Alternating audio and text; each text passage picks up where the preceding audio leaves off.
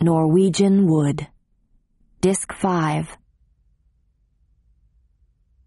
Naoko brought a large white candle from the kitchen. I lit it, dripped a little wax into a plate, and stood it up. Reiko used the flame to light a cigarette. As the three of us sat facing the candle amid these hushed surroundings, it began to seem as if we were the only ones left on some far edge of the world.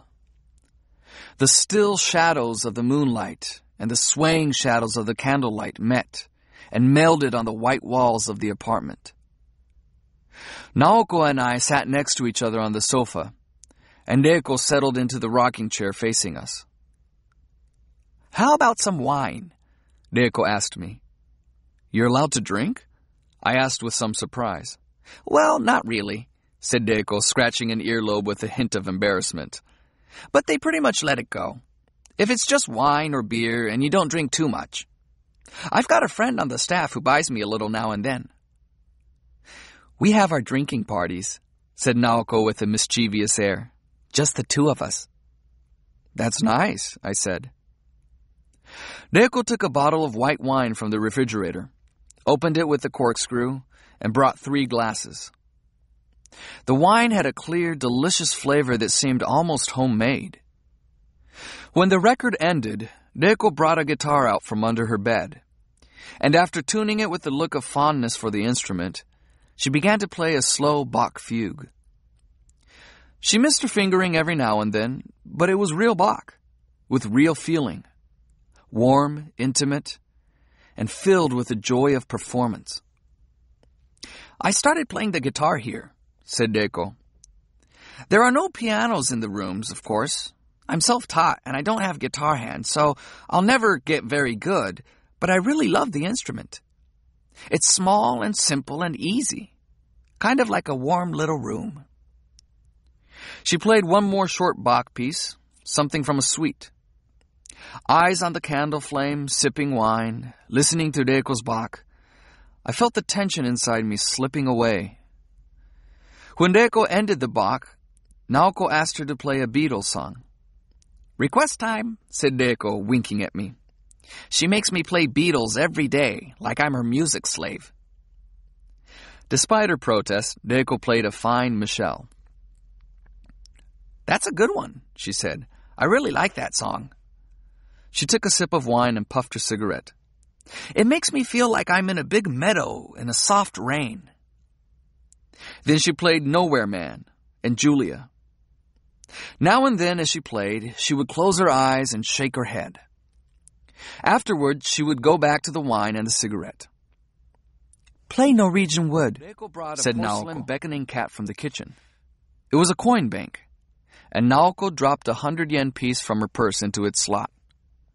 What's this all about? I asked. It's a rule, said Naoko. When I request Norwegian wood, I have to put a hundred yen into the bank. It's my favorite, so I make a point of paying for it. I make a request when I really want to hear it. And that way I get my cigarette money, said Reiko. Reiko gave her fingers a good flexing and then played Norwegian wood. Again, she played with real feeling but never allowed it to become sentimental. I took a hundred yen coin from my pocket and dropped it into the bank. Thank you, said Reiko with a sweet smile. That song can make me feel so sad, said Naoko. I don't know. I guess I imagine myself wandering in a deep wood. I'm all alone, and it's cold and dark, and nobody comes to save me. That's why Reiko never plays it unless I request it. Sounds like Casablanca, Reiko said with a laugh. She followed Norwegian Wood with a few bossa novas while I kept my eyes on Naoko. As she had said in her letter, she looked healthier than before. Suntanned, her body firmed up from exercise and outdoor work. Her eyes were the same deep, clear pools they had always been and her small lips still trembled shyly. But overall, her beauty had begun to change to that of a mature woman. Almost gone now was the sharp edge, the chilling sharpness of a thin blade that could be glimpsed in the shadows of her beauty. in the place of which there hovered now a uniquely soothing, quiet calm. I felt moved by this new, gentle beauty of hers, and amazed to think that a woman could change so much in the course of half a year. I felt as drawn to her as ever, perhaps more than before. But the thought of what she had lost in the meantime also gave me cause for regret. Never again would she have that self centered beauty that seems to take its own independent course in adolescent girls and no one else. Naoko said she wanted to hear about how I was spending my days. I talked about the student strike and about Nagasawa. This was the first time I had ever said anything to her about him. I found it challenging to give her an accurate account of his odd humanity his unique philosophy, and his uncentered morality. But Naoko seemed finally to grasp what I was trying to tell her. I hid the fact that I went out hunting girls with him, revealing only that the one person in the dorm I spent any real time with was this unusual guy. All the while, Reiko went through another practice of the Bach fugue she had played before, taking occasional breaks Sounds for like wine and cigarettes. person. Said Naoko. He is strange, I said. But you like him? I'm not sure, I said. I guess I can't say I like him. Nagasawa is beyond liking or not liking. He doesn't try to be liked. In that sense, he's a very honest guy, even stoic. He doesn't try to fool anybody. Stoic? Sleeping with all those girls? Now that is weird, said Naoko laughing. How many girls has he slept with? It's probably up to 80 now, I said. But in his case, the higher the numbers go, the less each individual act seems to mean, which is what I think he's trying to accomplish. And you call that stoic? For him, it is. Naoko thought about my words for a minute. I think he's a lot sicker in the head than I am, she said. So do I, I said. But he can put all his warped qualities into a logical system. He's brilliant. If you brought him here, he'd be out in two days. Oh, sure, I know all that, he'd say. I understand everything you're doing here. He's that kind of guy. The kind people respect. I guess I'm the opposite of brilliant, said Naoko. I don't understand anything they're doing here.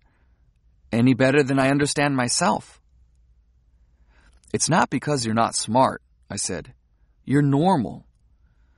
I've got tons of things I don't understand about myself. We're both normal. Ordinary. Naoko raised her feet to the edge of the sofa and rested her chin on her knees. I want to know more about you, she said. I'm just an ordinary guy. Ordinary family, ordinary education, ordinary face, ordinary grades, ordinary thoughts in my head. You're such a big Scott Fitzgerald fan. Wasn't he the one who said you shouldn't trust anybody who calls himself an ordinary man? You lent me the book, said Naoko with a mischievous smile. True, I said. But this is no affectation. I really, truly believe deep down that I'm an ordinary person. Can you find something in me that's not ordinary? Of course I can, said Naoko with a hint of impatience. Don't you get it? Why do you think I slept with you? Because I was so drunk I would have slept with anyone? No, of course I don't think that, I said. Naoko remained silent for a long time, staring at her toes. At a loss for words, I took another drink of wine. How many girls have you slept with, Toru? Naoko asked in a tiny voice as if the thought had just crossed her mind. Eight or nine, I answered truthfully. her lap. You're not even 20 years old, she said. What kind of life are you leading? Naoko kept silent and watched me with those clear eyes of hers. I told Reiko about the first girl I'd slept with and how we had broken up. I had found it impossible to love her, I explained. I went on to tell her about my sleeping with one girl after another under Nagasawa's tutelage. I'm not trying to make excuses, but I was in pain, I said to Naoko. Here I was, seeing you almost every week and talking with you, and knowing that the only one in your heart was Kizuki. It hurt. It really hurt. And I think that's why I slept with girls I didn't know. Naoko shook her head for a few moments, and then she raised her face to look at me. You asked me that time why I had never slept with Kizuki, didn't you? Do you still want to know? I guess it's something I really ought to know, I said. I think so too, said Naoko. The dead will always be dead, but we have to go on living. I nodded. Reiko played the same difficult passage over and over, trying to get it right. I was ready to sleep with him, said Naoko, unclasping her barrette and letting her hair down. She toyed with the butterfly shape in her hands. And of course he wanted to sleep with me. So we tried. We tried a lot. But it never worked. We couldn't do it. I didn't know why then, and I still don't know why. I loved him, and I wasn't worried about losing my virginity. I would have been glad to do anything he wanted, but it never worked. Naoko lifted the hair she had let down and fastened it with the barrette. I couldn't get wet, she said in a tiny voice. I never opened to him, so it always hurt. I was just too dry. It hurt too much. We tried everything we could think of, creams and things, but still it hurt me. So I used my fingers or my lips. I would always do it for him that way. You know what I mean. I nodded in silence. Naoko cast her gaze through the window at the moon, which looked bigger and brighter now than it had before. I never wanted to talk about any of this, she said. I wanted to shut it up in my heart. I wish I still could. But I have to talk about it. I don't know the answer. I mean, I was plenty wet the time I slept with you, wasn't I? Uh huh, I said. I was wet from the minute you walked into my apartment the night of my 20th birthday. I wanted you to hold me. I wanted you to take my clothes off and touch me all over and get inside me. I had never felt like that before. Why is that? Why do things happen that way? I mean, I really loved him, I said. You want to know why you felt that way about me, even though you didn't love me? I'm sorry, said Naoko. I don't mean to hurt you, but this much you have to understand. Kizuki and I had a truly special relationship. We had been together from the time we were three. It's how we grew up, always together, always talking, understanding each other perfectly. The first time we kissed, it was in the sixth grade, was just wonderful. The first time I had my period, I ran to him and cried like a baby. We were that close. So after he died, I didn't know how to relate to other people. I didn't know what it means to love another person. She reached for her wine glass on the table, but managed only to knock it onto the floor, spilling the wine on the carpet. I crouched down and retrieved the glass, setting it on the table. Did she want to drink some more? I asked. Naoko remained silent for a while, then suddenly burst into tears, trembling all over. Slumping forward, she buried her face in her hands and sobbed with all the suffocating violence she had had that night with me. Reiko laid her guitar down and sat by Naoko, caressing her back. When she put an arm across Naoko's shoulders, Naoko pressed her face against Reiko's chest like a baby. You know, Reiko said to me, it might be a good idea for you to go out for a little walk. Maybe 20 minutes. Sorry, but I think that would help. I nodded and stood, pulling a sweater on over my shirt. Thanks for stepping in, I said to Reiko. Don't mention it, she said with a wink. This is not your fault. Don't worry, by the time you come back, she'll be okay. My feet carried me down the road, which was illuminated by the oddly unreal light of the moon, and into the woods. Beneath that moonlight, all sounds bore a strange reverberation. The hollow sound of my own footsteps seemed to come from another direction, as if I were hearing someone walking on the bottom of the sea. Behind me, every now and then, I would hear a crack or a rustle. A heavy pall hung over the forest, as if the animals of the night were holding their breath, waiting for me to pass. Where the road sloped upward beyond the trees, I sat and looked toward the building where Naoko lived. It was easy to tell which room was hers. All I had to do was find the one window toward the back where a faint light trembled. I focused on that point of light for a long, long time. It made me think of something like the final throb of a soul's dying embers. I wanted to cut my hands over what was left and keep it alive. I went on watching it the way Jay Gatsby watched that tiny light on the opposite shore night after night. When I walked back to the front entrance of the building half an hour later, I could hear Reiko practicing the guitar. I padded up the stairs and tapped on the apartment door. Inside, I found no sign of Naoko. Reiko sat alone on the carpet, playing her guitar. She pointed toward the bedroom door to let me know Naoko was in there. Then she set the guitar down on the floor and took a seat on the sofa, inviting me to sit next to her and dividing what wine was left between our two glasses. Naoko is fine, she said, touching my knee. Don't worry. All she has to do is rest for a while. She'll calm down. She was just a little upset. How about taking a walk with me in the meantime? Good, I said. Reiko and I ambled down a road illuminated by street lamps. When we reached the area by the tennis and basketball courts, we sat on a bench. She picked up a basketball from under the bench and turned it in her hands. Then she asked me if I played tennis.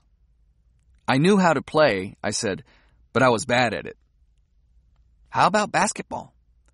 Not my strongest sport, I said. What is your strongest sport?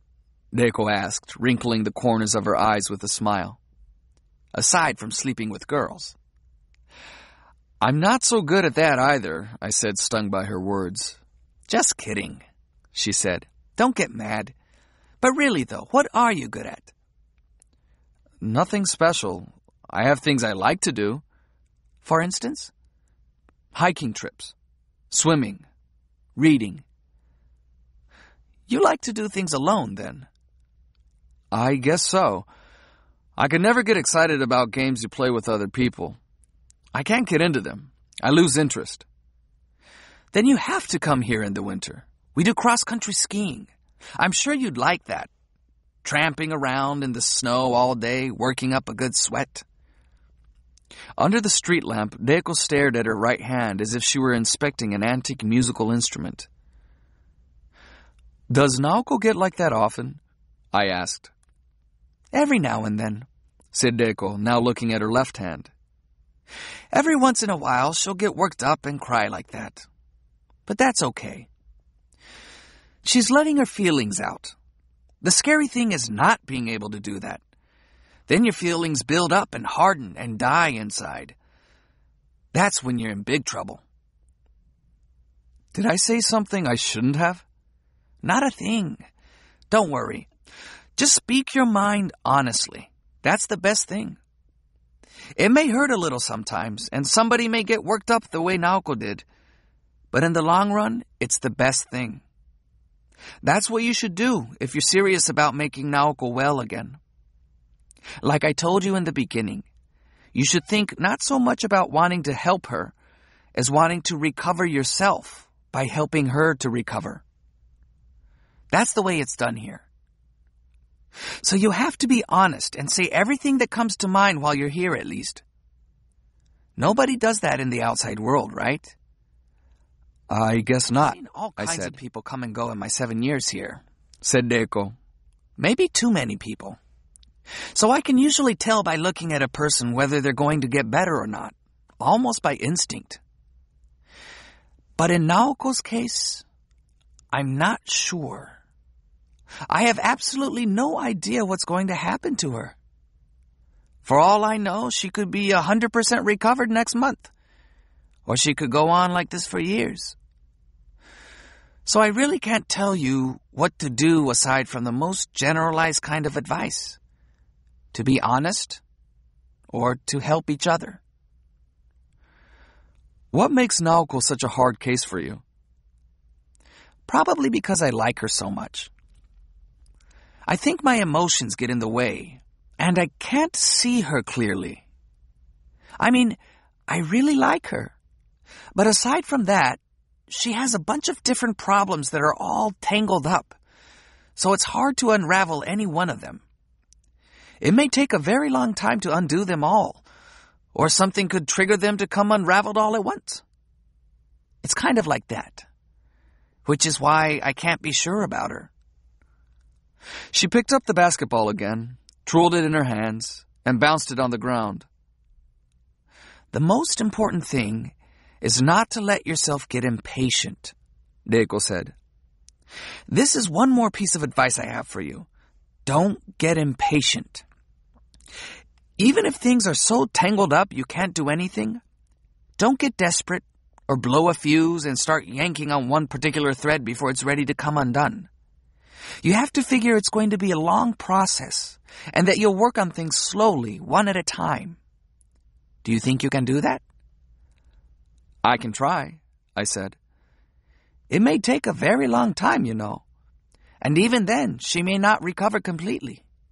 Have you thought about that? I nodded. Waiting is hard, she said, bouncing the ball. Especially for someone your age. You just sit and wait for her to get better, without deadlines or guarantees. Do you think you can do that? Do you love Naoko that much? I'm not sure, I said honestly. Like Naoko, I'm not really sure what it means to love another person. Though she meant it a little differently. I do want to try my best, though. I have to, or else I won't know where to go. Like you said before, Naoko and I have to save each other. It's the only way for either of us to be saved. And are you going to go on sleeping with girls you pick up? I don't know what to do about that either, I said. What do you think? Should I just keep waiting and masturbating? I'm not in complete Michael control the there on either. the ground and patted my knee. Look, she said, I'm not telling you to stop sleeping with girls. If you're okay with that, then it's okay. It's your life after all. It's something you have to decide. All I'm saying is you shouldn't use yourself up in some unnatural form. Do you see what I'm getting at? It would be such a waste. The years 19 and 20 are a crucial stage in the maturation of character.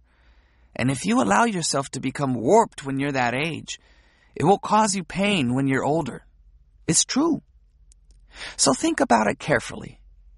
If you want to take care of Naoko, take care of yourself too. I said I would think about it. I was 20 once myself. Once upon a time. Would you believe it? I believe it, of course. Deep down? Deep down, I said with a smile.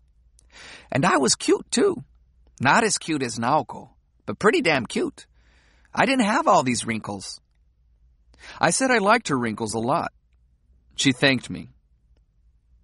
But don't ever tell another woman that you find her wrinkles attractive, she added. I like to hear it, but I'm the exception. I'll be careful, I said. She slipped a wallet from her pants pocket and handed me a photo from the card holder. It was a color snapshot of a cute girl around 10 years old, wearing skis and brightly colored ski clothes, and standing on the snow with a sweet smile for the camera. Don't you think she's pretty? My daughter, said Reiko. She sent me this in January, She's in, what, fourth grade now. She's got your smile, I said, returning the photo. Reiko put the wallet back into her pocket and, with a sniff, put a cigarette between her lips and lit up. I was going to be a concert pianist, she said. I had talent, and people recognized it and made a fuss over me while I was growing up. I won competitions and had top grades in the conservatory, and I was set to study in Germany after graduation. Not a cloud on the horizon. Everything worked out perfectly, and when it didn't, there was always somebody to fix it. But then, one day something happened, and it all blew apart. I was in my senior year at the conservatory, and there was a fairly important competition coming up. I practiced for it constantly, but all of a sudden, the little finger of my left hand stopped moving. I don't know why, it just did. I tried massaging it, soaking it in hot water, taking off from practice for a few days. Nothing worked. So then I got scared and went to the doctors. They tried all kinds of tests, but they couldn't come up with anything. There was nothing wrong with the finger itself, and the nerves were okay, they said. There was no reason it should stop moving. The problem must be psychological. So I went to a psychiatrist, but he didn't really know what was going on either. Probably pre competition stress, he figured, and told me to get away from the piano for a while and let the smoke out. Then she bent her neck to the side a few times. So I went to recuperate at my grandmother's place on the coast in Izu. I figured I'd forget about that particular competition and really relax. Spend a couple of weeks away from the piano doing anything I wanted. But it was hopeless. Piano was all I could think about. Maybe my finger would never move again. How would I live if that happened? The same thoughts kept going round and round in my brain. And no wonder.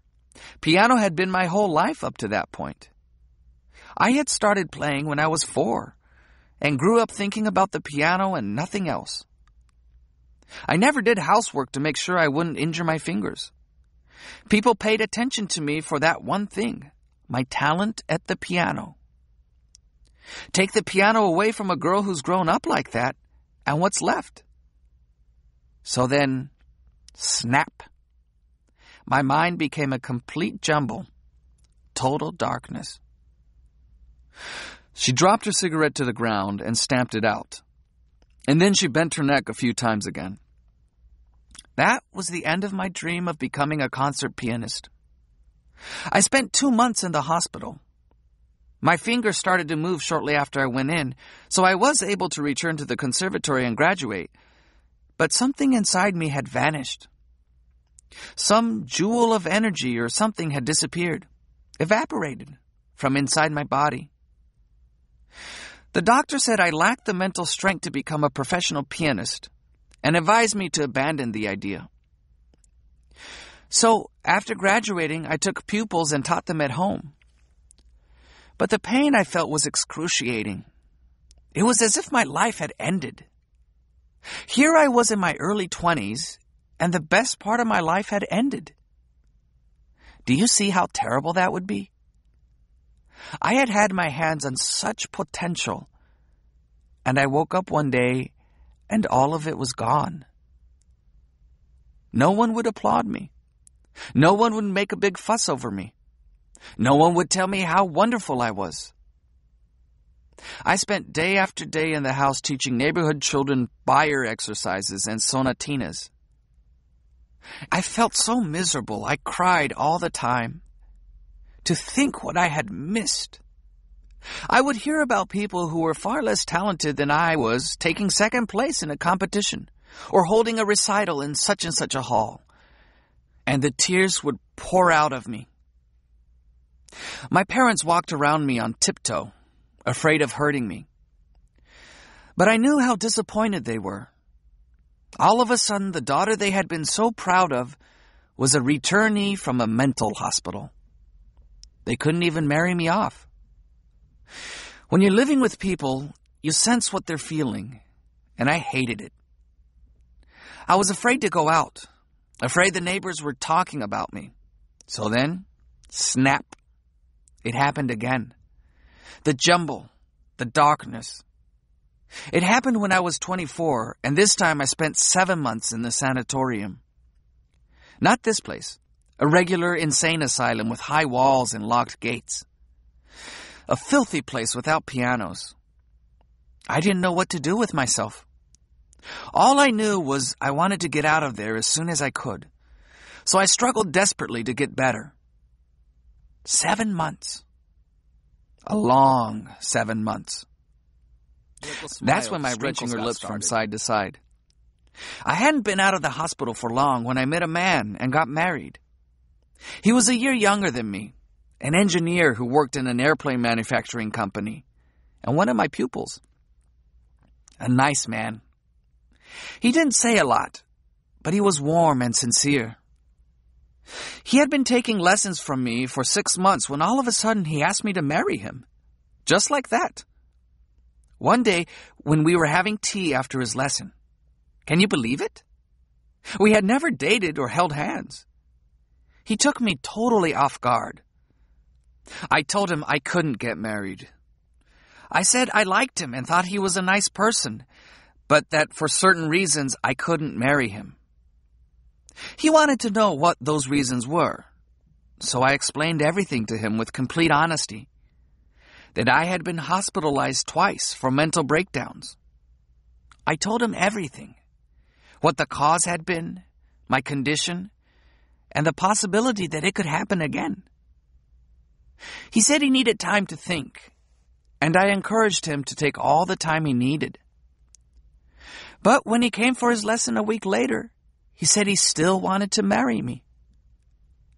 I asked him to wait three months. We would see each other for three months, I said, and if he still wanted to marry me at that point, we would talk about it again. We dated once a week for three months. We went everywhere and talked about everything, and I got to like him a lot. When I was with him, I felt as if my life had finally come back to me.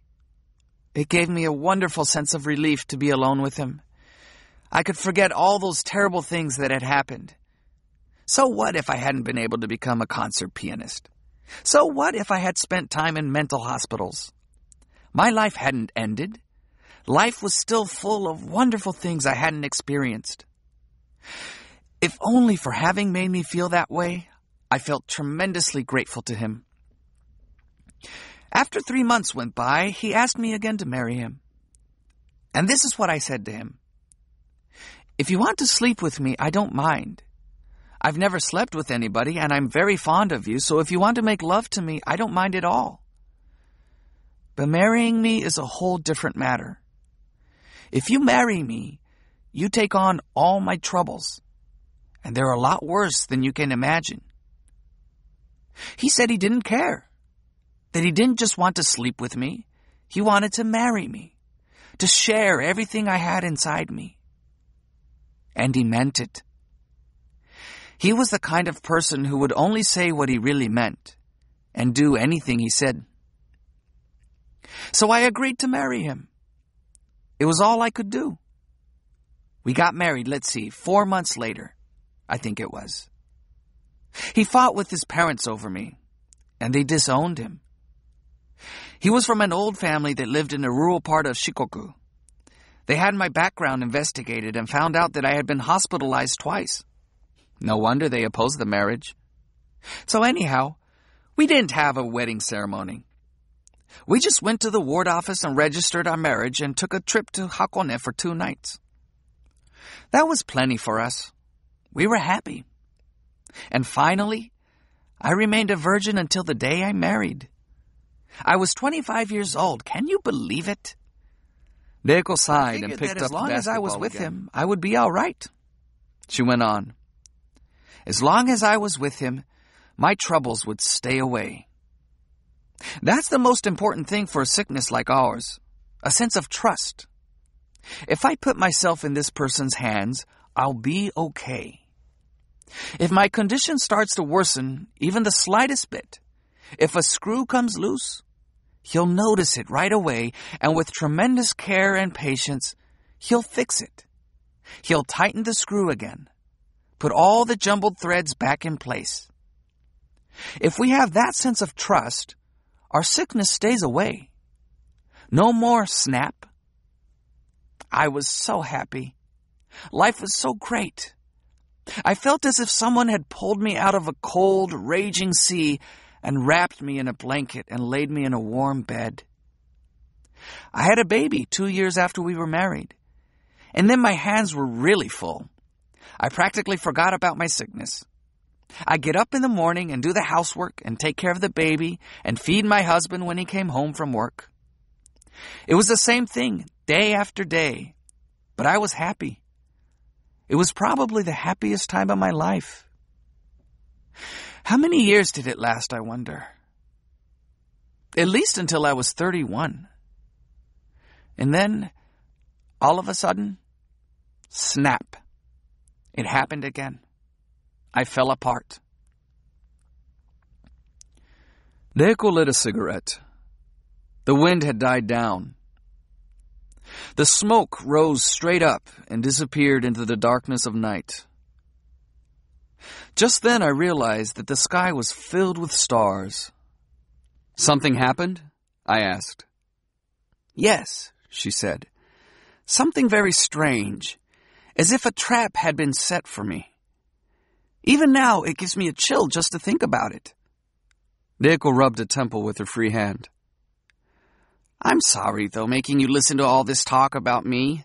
You came here to see Naoko, not listen to my story. I'd really like to hear it, though, I said. If you don't mind, I'd like to hear the rest. Well, Reiko began, when our daughter entered kindergarten, I started playing again, little by little. Not for anyone else, but for myself. I started with short pieces by Bach, Mozart, Scarlatti.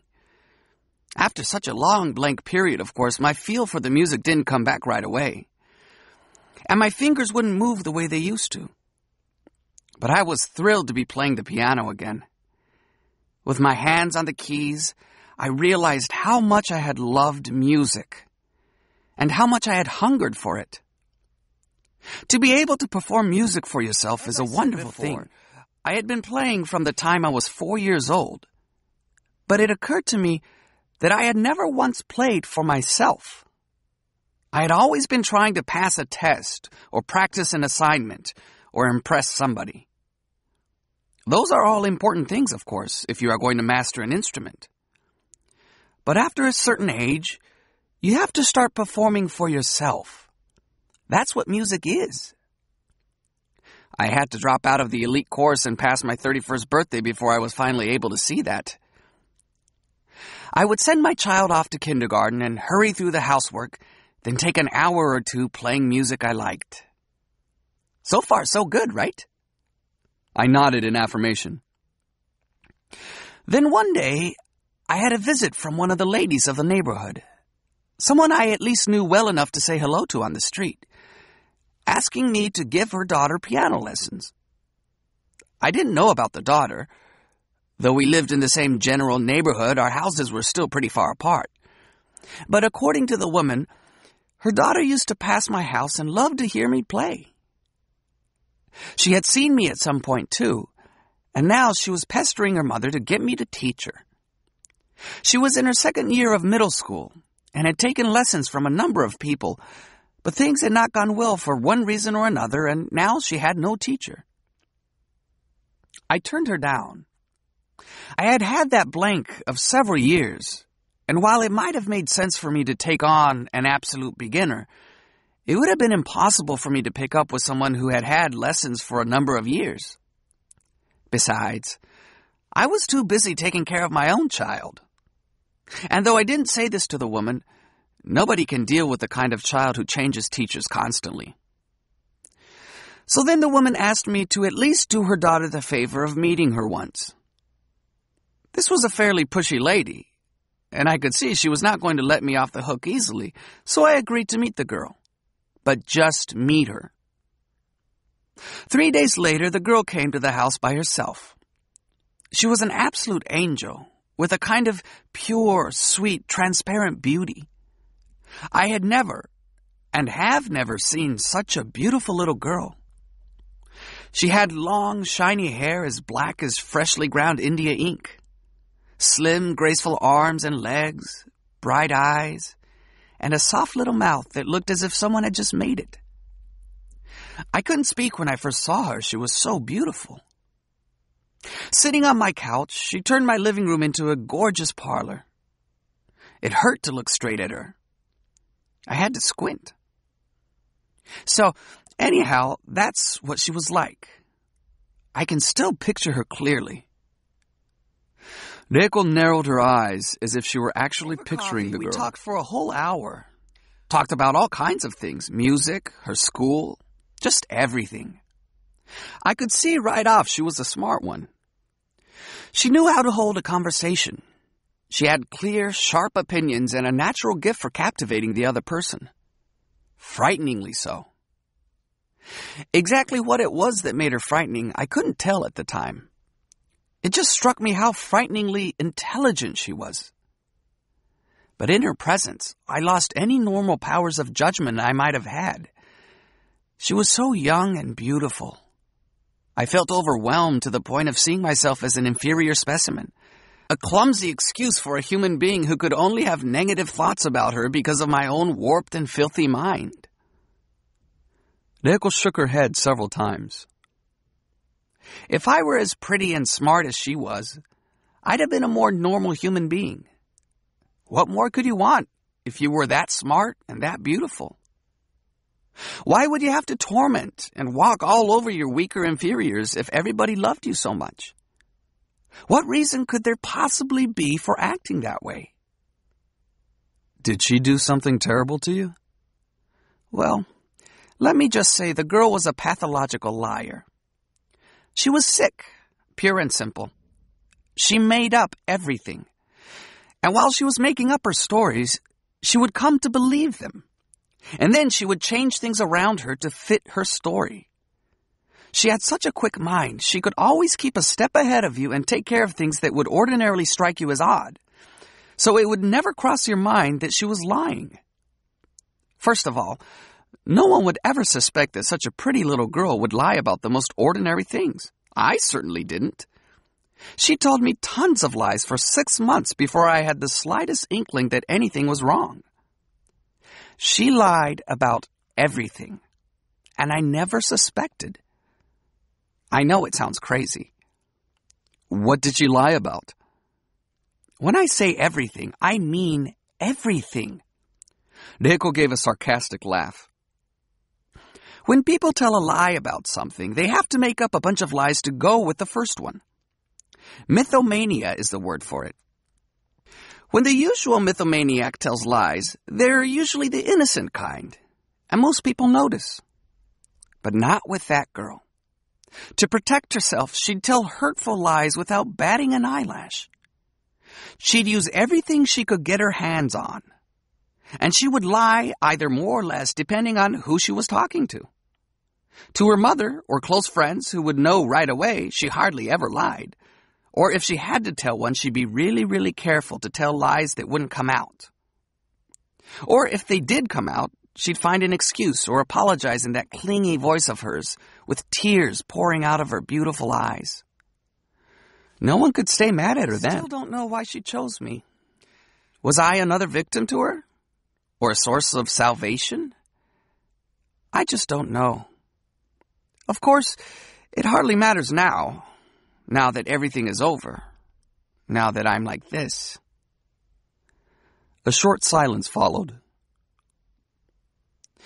She repeated what her mother had told me that she had been moved when she heard me playing as she passed the house. She had seen me on the street a few times too and begun to worship me. She actually used that word worship. It made me turn bright red. I mean, to be worshipped by such a beautiful little doll of a girl. I don't think it was an absolute lie, though. I was in my 30s already, of course, and I could never be as beautiful and bright as she was. And I had no special talent. But I must have had something that drew her to me. Something that was missing in her, I would guess. Which must have been what got her interested in me to begin with. I believe that now, looking back. And I'm not boasting. No, I think I know what you mean. She had brought some music with her and asked if she could play for me. So I let her. It was a Bach invention. Her performance was interesting. Or should I say strange? It just wasn't ordinary. Of course, it wasn't polished. She hadn't been going to a professional school, and what lessons she had taken had been an on and off kind of thing. She was very much self taught. Her sound was untrained. She'd have been rejected immediately if this had been a music school audition. But she made it work. 90% was just terrible, but the other 10% was there. She made it sing. It was music. And this was a Bach invention. So I got interested in her. I wanted to know what she was all about. Needless to say, the world is full of kids who can play Bach way better than she could. Twenty times better. But most of their performances would have nothing to them. They'd be hollow, empty. This girl's technique was bad, but she had that little bit of something that could draw people, or draw me at least, into her performance. So I decided it might be worthwhile to teach her. Of course, retraining her at that point to where she could become a pro was out of the question. But I felt it might be possible to make her into the kind of happy pianist I was then, and still am. Someone who could enjoy making music for herself. This turned out to be an empty hope, though. She was not the kind of person who quietly goes about doing things for herself.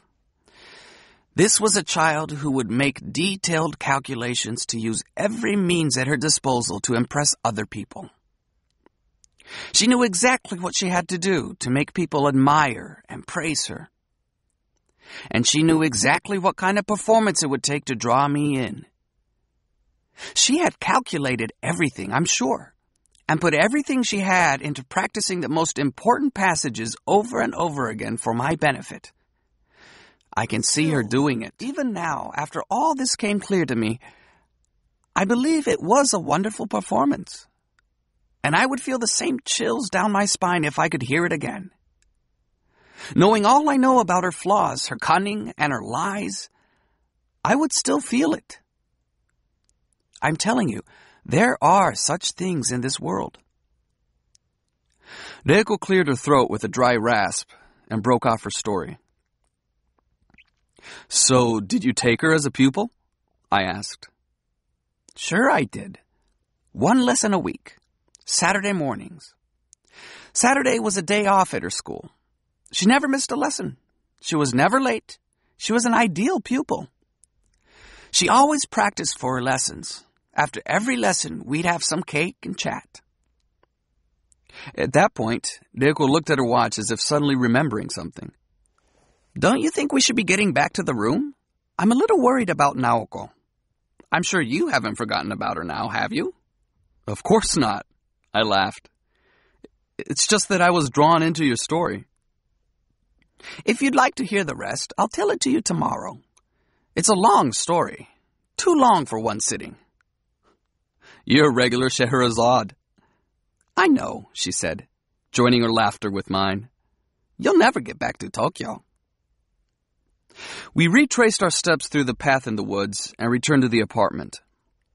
The candles had been extinguished and the living room lights were out.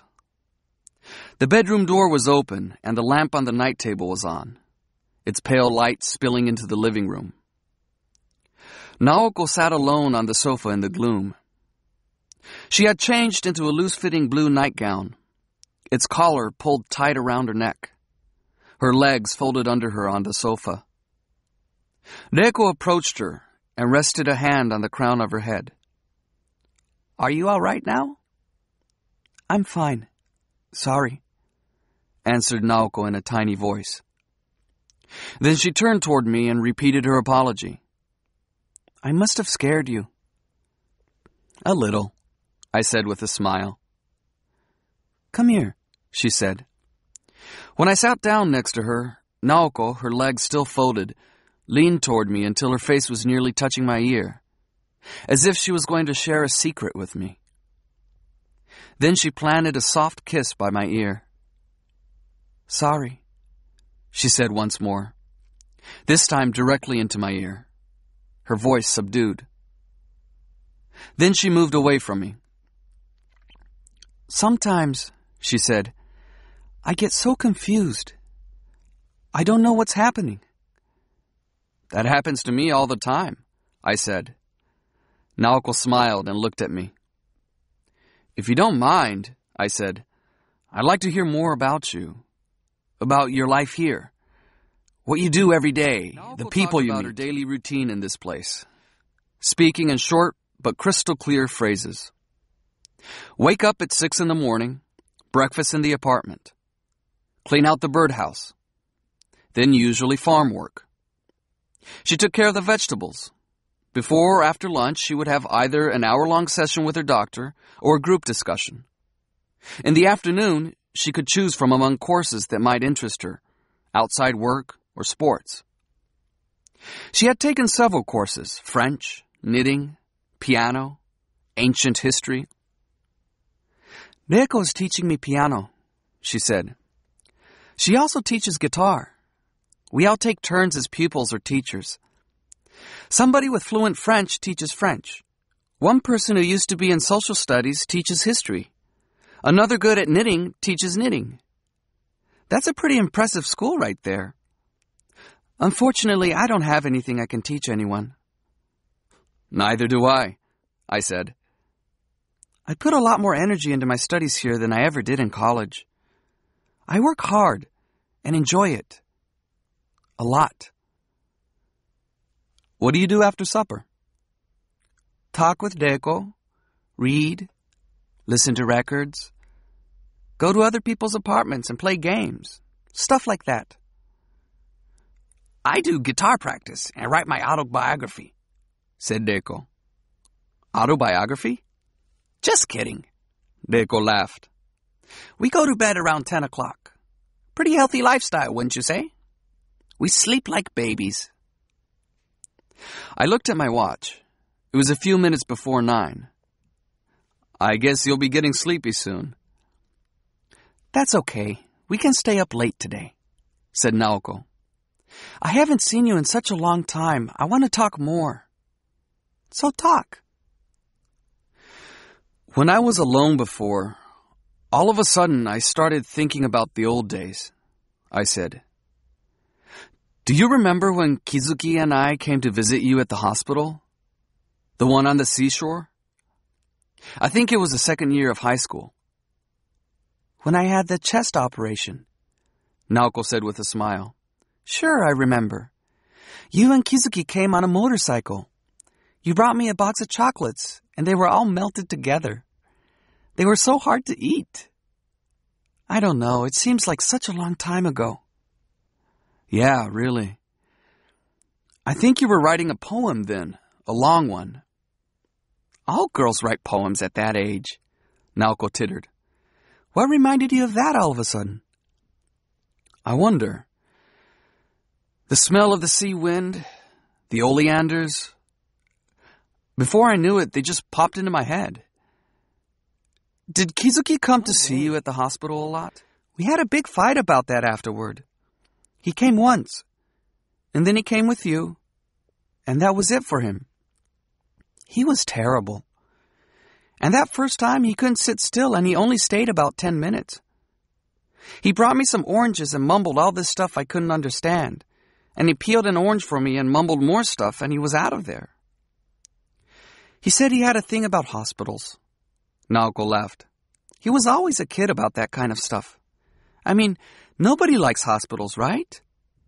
That's why people visit people in hospitals.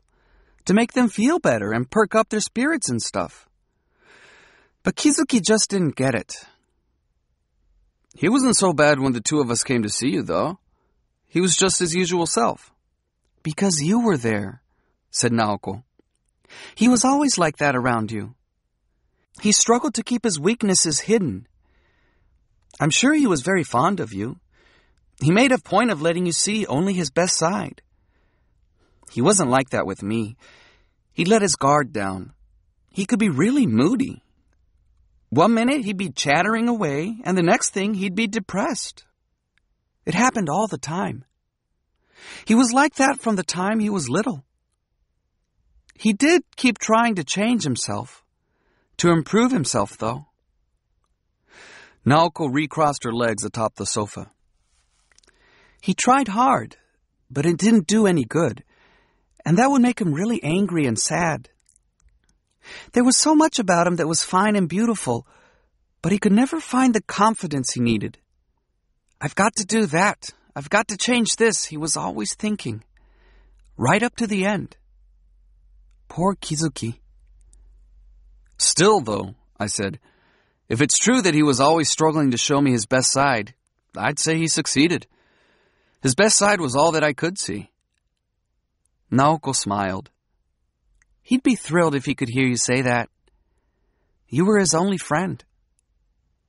And Kizuki was my only friend, I said. There was never anybody I could really call a friend, before him or after him. That's why I loved being with the two of you. His best side was all that I could see then, too. I could relax and stop worrying when the three of us were together. Those were my favorite times. I don't know how you felt about it. I used to worry about what you were thinking, I said, giving my head a shake. The problem was that that kind of thing couldn't go on forever, said Naoko. Such perfect little circles are impossible to maintain. Kizuki knew it, and I knew it. And so did you. Am I right? To tell you the truth, though. I nodded. Naoko went on. I loved his weak side too. I loved it as much as I loved his good side. There was absolutely nothing mean or sneaky about him. He was weak, that's all. I tried to tell him that, but he wouldn't believe me. He'd always tell me it was because we had been together from the time we were three. I knew him too well, he'd say. I couldn't tell the difference between his strong points and his flaws. They were all the same to me. He couldn't change my mind about him, though. I went on loving him just the same, and I could never be interested in anyone else. Naoko looked at me with a sad smile. Our boy girl relationship was really unusual, too. It was as if we were physically joined somewhere. If we happened to be apart, some special gravitational force would pull us back together again. It was the most natural thing in the world when we became boyfriend and girlfriend. It was nothing we had to think about or make any choices about. We started kissing at 12 and petting at 13. I'd go to his room or he'd come to my room and I'd finish him off with my hands. It never occurred to me that we were being precocious. It just happened as a matter of course. If he wanted to play with my breasts or vagina, I didn't mind at all. Or if he had semen he wanted to get rid of, I didn't mind helping with that either. I'm sure it would have shocked us both if someone had accused us of doing anything wrong, because we weren't. We were just doing what we were supposed to do. We had always shown each other every part of our bodies. It was almost as if we owned each other's bodies jointly. For a while, at least, we made sure we didn't go any further than what I've said, though. We were afraid of getting me pregnant, and had almost no idea at that point of how you go about preventing it. Anyhow, that's how Kizuki and I grew up together, hand in hand, an inseparable pair. We had almost no sense of the oppressiveness of sex, or the anguish that comes with the sudden swelling of the ego that ordinary kids experience when they reach puberty. We were totally open about sex, and where our egos were concerned, the way we absorbed and shared each other's, we had no strong awareness of them. Do you see what I mean? I think so, I said. We couldn't bear to be apart. So if Kizuki had lived, I'm sure we would have been together, loving each other, and gradually growing unhappy. Unhappy? Why's that? With her fingers, Naoko combed her hair back several times. She had taken her barrette off, which made the hair fall over her face when she dropped Because her head we would forward. have had to pay the world back what we owed it. she said, raising her eyes to mine. The pain of growing up.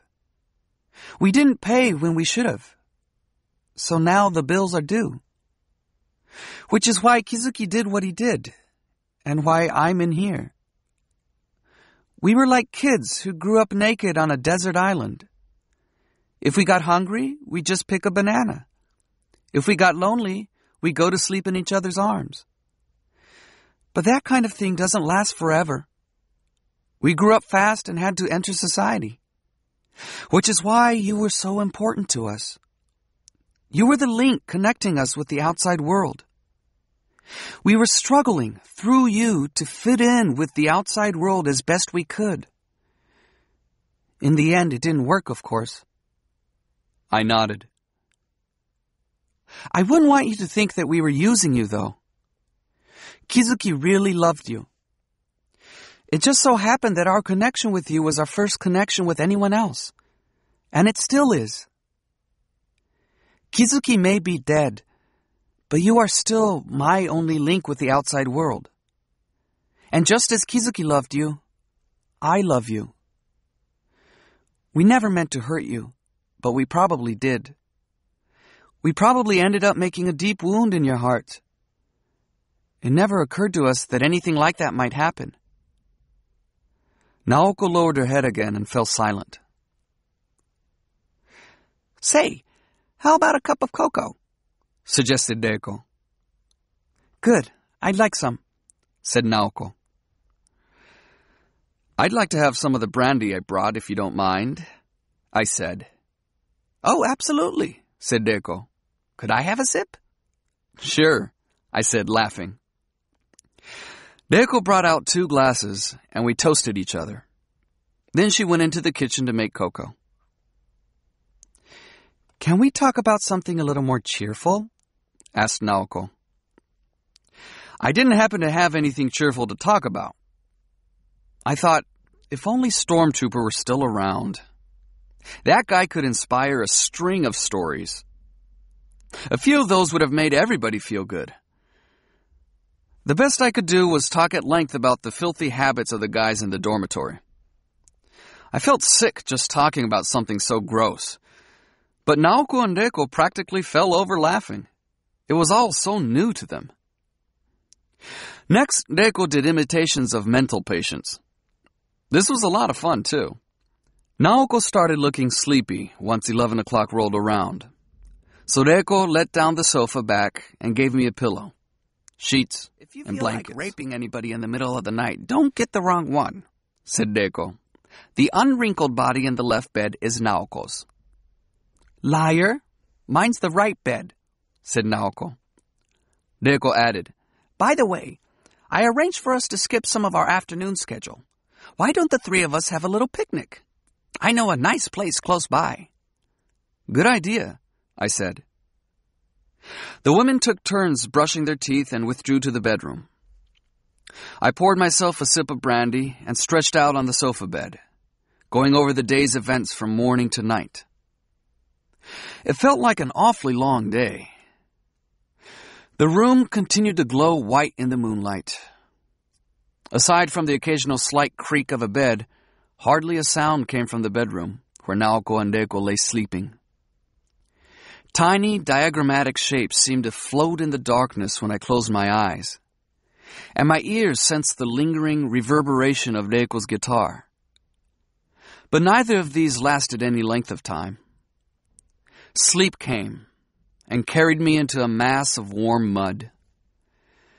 I dreamed of willows. Both sides of a mountain road were lined with willows. An incredible number of willows. A fairly stiff breeze was blowing, but the branches of the willow trees never swayed.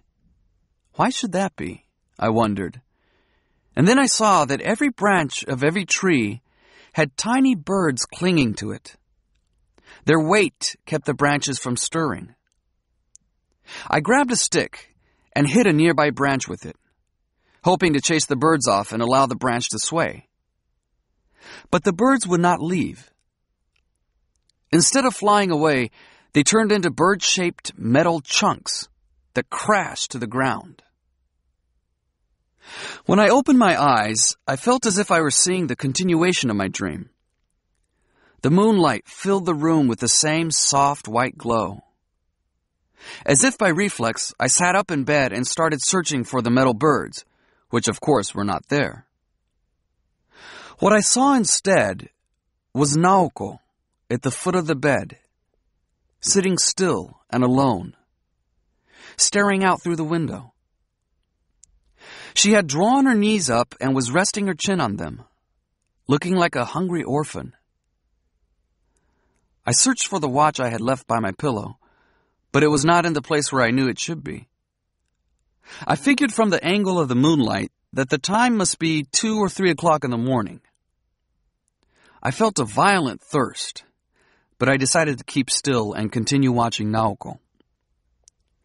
She was wearing the same blue nightgown I had seen her in earlier, and on one side her hair was held in place by the butterfly barrette, revealing the beauty of her face in the moonlight.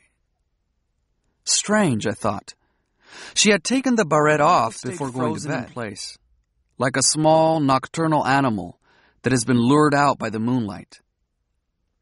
The direction of the glow exaggerated the silhouette of her lips.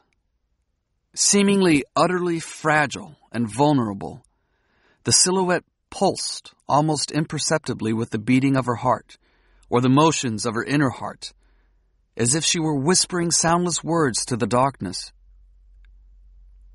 I swallowed in hopes of easing my thirst, but in the stillness of the night, the sound I made was huge. As if this were a signal to her, Naoko stood and glided toward the head of the bed, gown rustling faintly. She knelt on the floor by my pillow, eyes fixed on mine.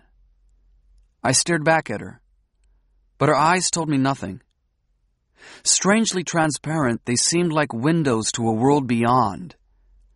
But however long I peered into their depths, there was nothing I could see. Our faces were no more than ten inches apart, but she was light years away from me.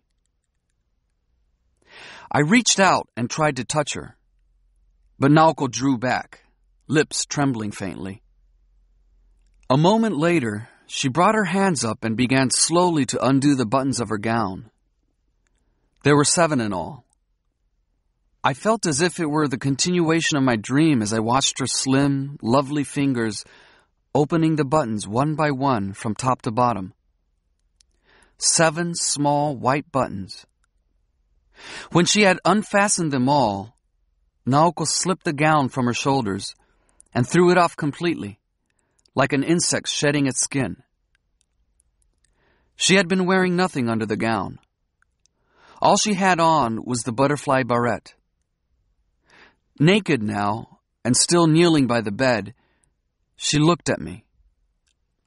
Bathed in the soft light of the moon, Naoko's body had the heartbreaking luster of newborn flesh. When she moved, and she did so almost imperceptibly, the play of light and shadow on her body shifted subtly. The swelling roundness of her breasts, her tiny nipples, the indentation of her navel, her hip bones and pubic hair, all cast grainy shadows, the shapes of which kept changing like ripples spreading over the calm surface of a lake. What perfect flesh, I thought. When had Naoko come to possess such a perfect body? What had happened to the body I held in my arms that night last spring? A sense of imperfection had been what Naoko's body had given me that night, as I tenderly undressed her while she cried. Her breasts had seemed hard, the nipples oddly jutting, the hips strangely rigid, her body marvelous and alluring.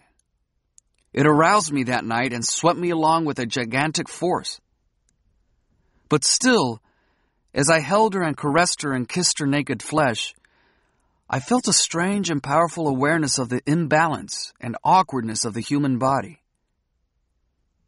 Holding Naoko in my arms, I wanted to explain to her, I am having intercourse with you now.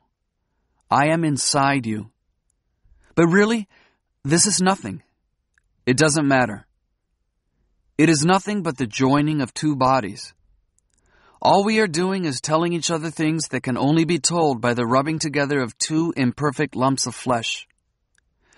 By doing this, we are sharing our imperfection.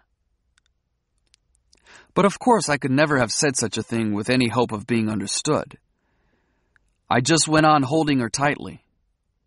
And as I did so, I was able to feel inside her body some kind of stony foreign matter. Something extra that I could never draw close to. And that sensation both filled my heart for Naoko and gave my erection a terrifying intensity. The body that Naoko revealed before me now, though, was nothing like the one I had held that night. This flesh had been through many changes to be reborn in utter perfection beneath the light of the moon. All signs of girlish plumpness had been stripped away since Kizuki's death, to be replaced by the flesh of a mature woman. So perfect was Naoko's physical beauty now that it aroused nothing sexual in me. I could only stare, astounded, at the lovely curve from waist to hips, the rounded richness of the breasts, the gentle movement with each breath of the slim belly, and the soft, black pubic shadow beneath. She exposed her nakedness to me this way for perhaps five minutes, until at last she wrapped herself in her gown once more and buttoned it from top to bottom. As soon as the last button was in place, she rose and glided toward the bedroom, opened the door silently, and disappeared within. I stayed fixed in place for a very long time until it occurred to me to leave the bed. I retrieved my watch from where it had fallen on the floor and turned it toward the moonlight. The time was 3:40. I went to the kitchen and drank a few glassfuls of water before stretching out in bed again. But sleep never came for me until the morning sunlight crept into every corner of the room, dissolving all traces of the moon's pale glow. I was somewhere on the edge of sleep when Reiko came and smacked me on the cheek, shouting, Morning! Morning!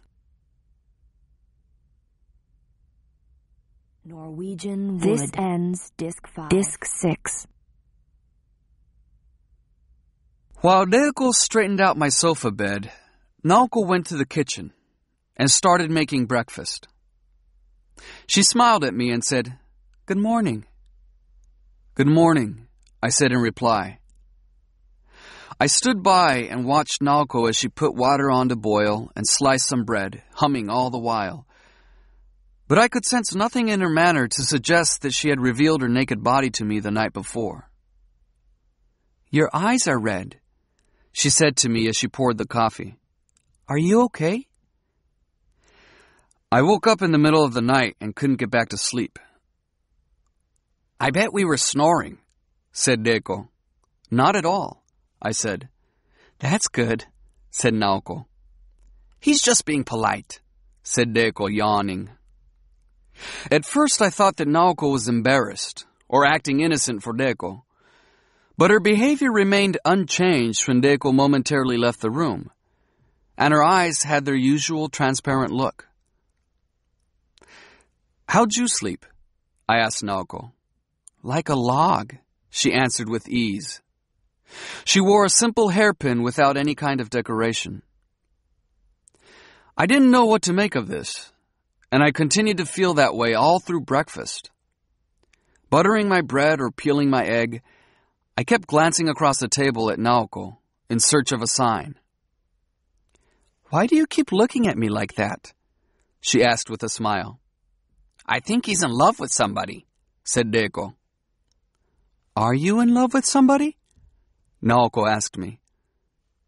Could be, I said, returning her smile. When the two women started joking around at my expense, I gave up trying to think about what had happened in the night and concentrated on my bread and coffee. After breakfast, Reiko and Naoko said they would be going to feed the birds in the birdhouse. I volunteered to go along. They changed into jeans and work shirts and white rubber boots. Set in a little park behind the tennis courts, the birdhouse had everything in it from chickens and pigeons to peacocks and parrots, and was surrounded by flower beds and shrubberies and benches. Two men in their 40s, also apparently sanatorium patients, were raking up leaves that had fallen in the pathways. The women walked over to say good morning to the pair, and Reiko got a laugh from them with another of her jokes. Cosmos were blooming in the flower beds, and the shrubberies were extremely well manicured.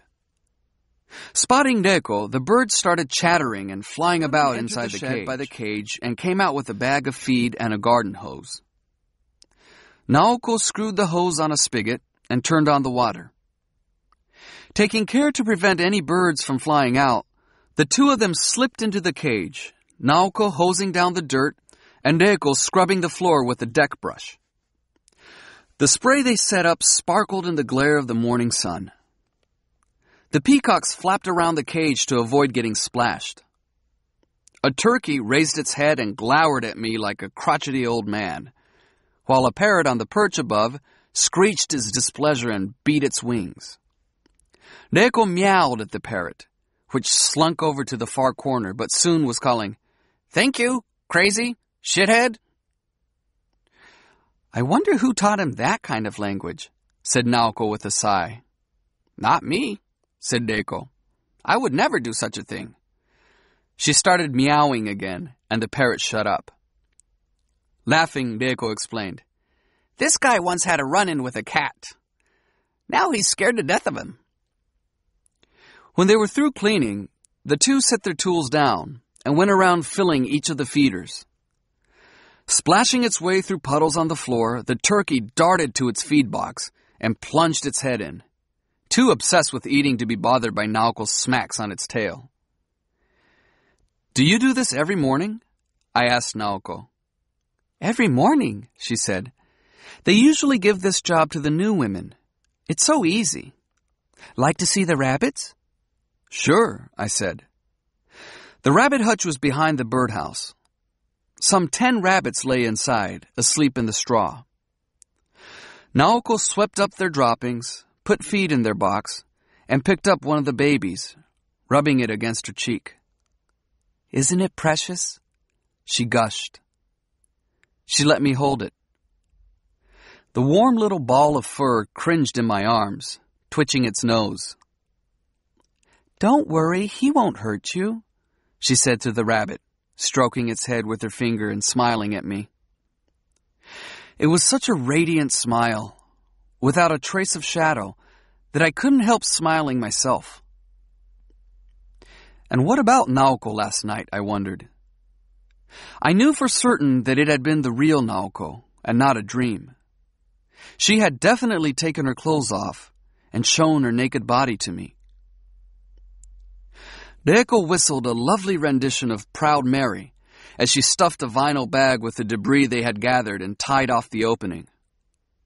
I helped them carry the tools and feed bag to the shed. Morning is my favorite time of day, said Naoko. It's like everything's starting out fresh and new. I begin to get sad around noontime, and I hate it when the sun goes down. I live with those same feelings day after day. And while you're living with those feelings, you youngsters get old just like me, said Reiko with a smile. You're thinking about how it's morning now or night, and the next thing you know, you're old. But you like getting old, said Naoko. Not really, said Reiko. But I sure don't wish I was young again. Why not? I asked. Because it's such a pain in the neck, she said. Then she tossed her broom in and closed the door of the shed, whistling Proud Mary all the while. Back at the apartment, the women changed their rubber boots for tennis shoes and said they'd be going to the farm. Reiko suggested I stay behind with a book or something, because the work would be no fun to watch, and they would be doing it as part of a group. And while you're waiting, you can wash the pile of dirty underwear we left by the sink, she added. You're kidding, I said, taken aback. Of course I am, she laughed. You're so sweet. Isn't he, Naoko? He really is, said Naoko, laughing with her. I'll work on my German, I said with a sigh. Yeah, do your homework like a good boy, said Reiko. We'll be back before lunch. The two of them went out tittering. I heard the footsteps and voices of a number of people walking by downstairs. I went into the bathroom and washed my face again, then borrowed a nail clipper and trimmed my nails. For a bathroom that was being shared by two women, its contents were incredibly simple. Aside from some neatly arranged bottles of cleansing cream and lip moisturizer and sunblock, there was almost nothing that could be called cosmetics. When I finished trimming my nails, I made myself some coffee and drank it at the kitchen table, German book open. Stripping down to a t-shirt in the sun-filled kitchen, I had set about memorizing all the forms in a grammar chart when I was struck by an odd feeling. It seemed to me that the longest imaginable distance separated irregular German verb forms from this kitchen table. The two women came back from the farm at 11:30, took turns in the shower, and changed into fresh clothes. The three of us went to the dining hall for lunch, then walked to the front gate.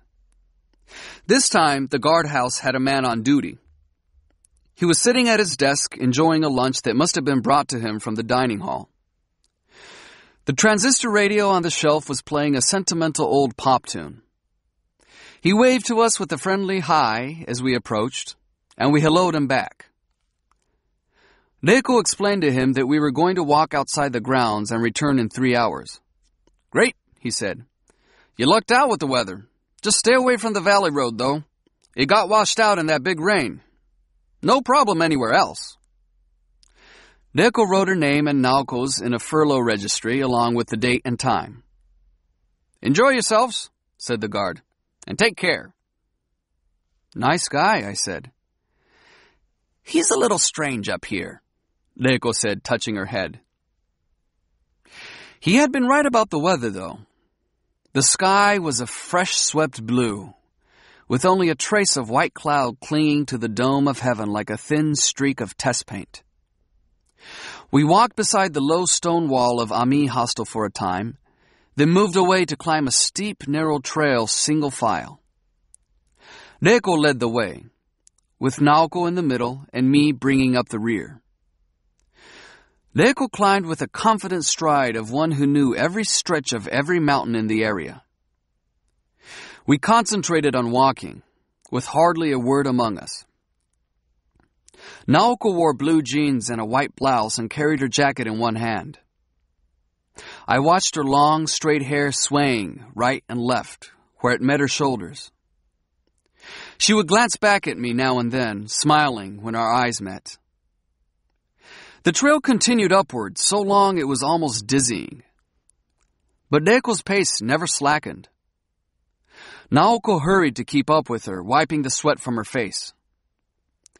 Not having indulged in such outdoor activities for some time, I found myself running short of breath. I asked Naoko. Maybe once a week, she answered. Having a tough time? Kind of, I said. We're almost there, said Reiko. This is about two thirds of the way. Come on, you're a boy, aren't you? Yeah, but I'm out of shape.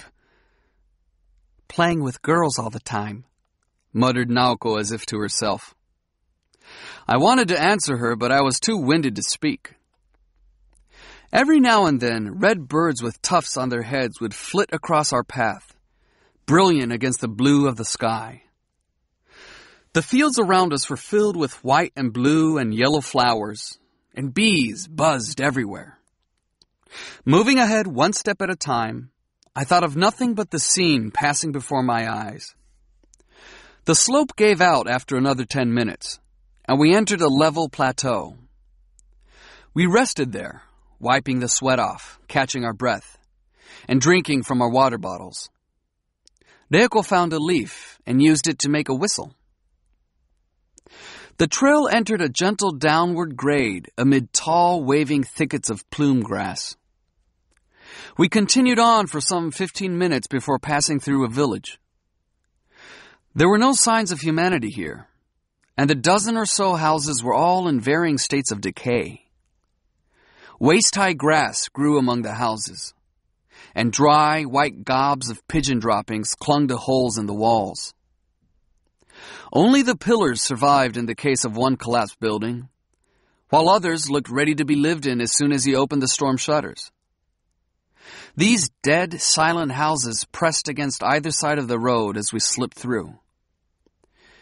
People lived in this village until seven or eight years ago, Reiko informed me. This was farmland around here. But they all cleared out. Life was just too hard.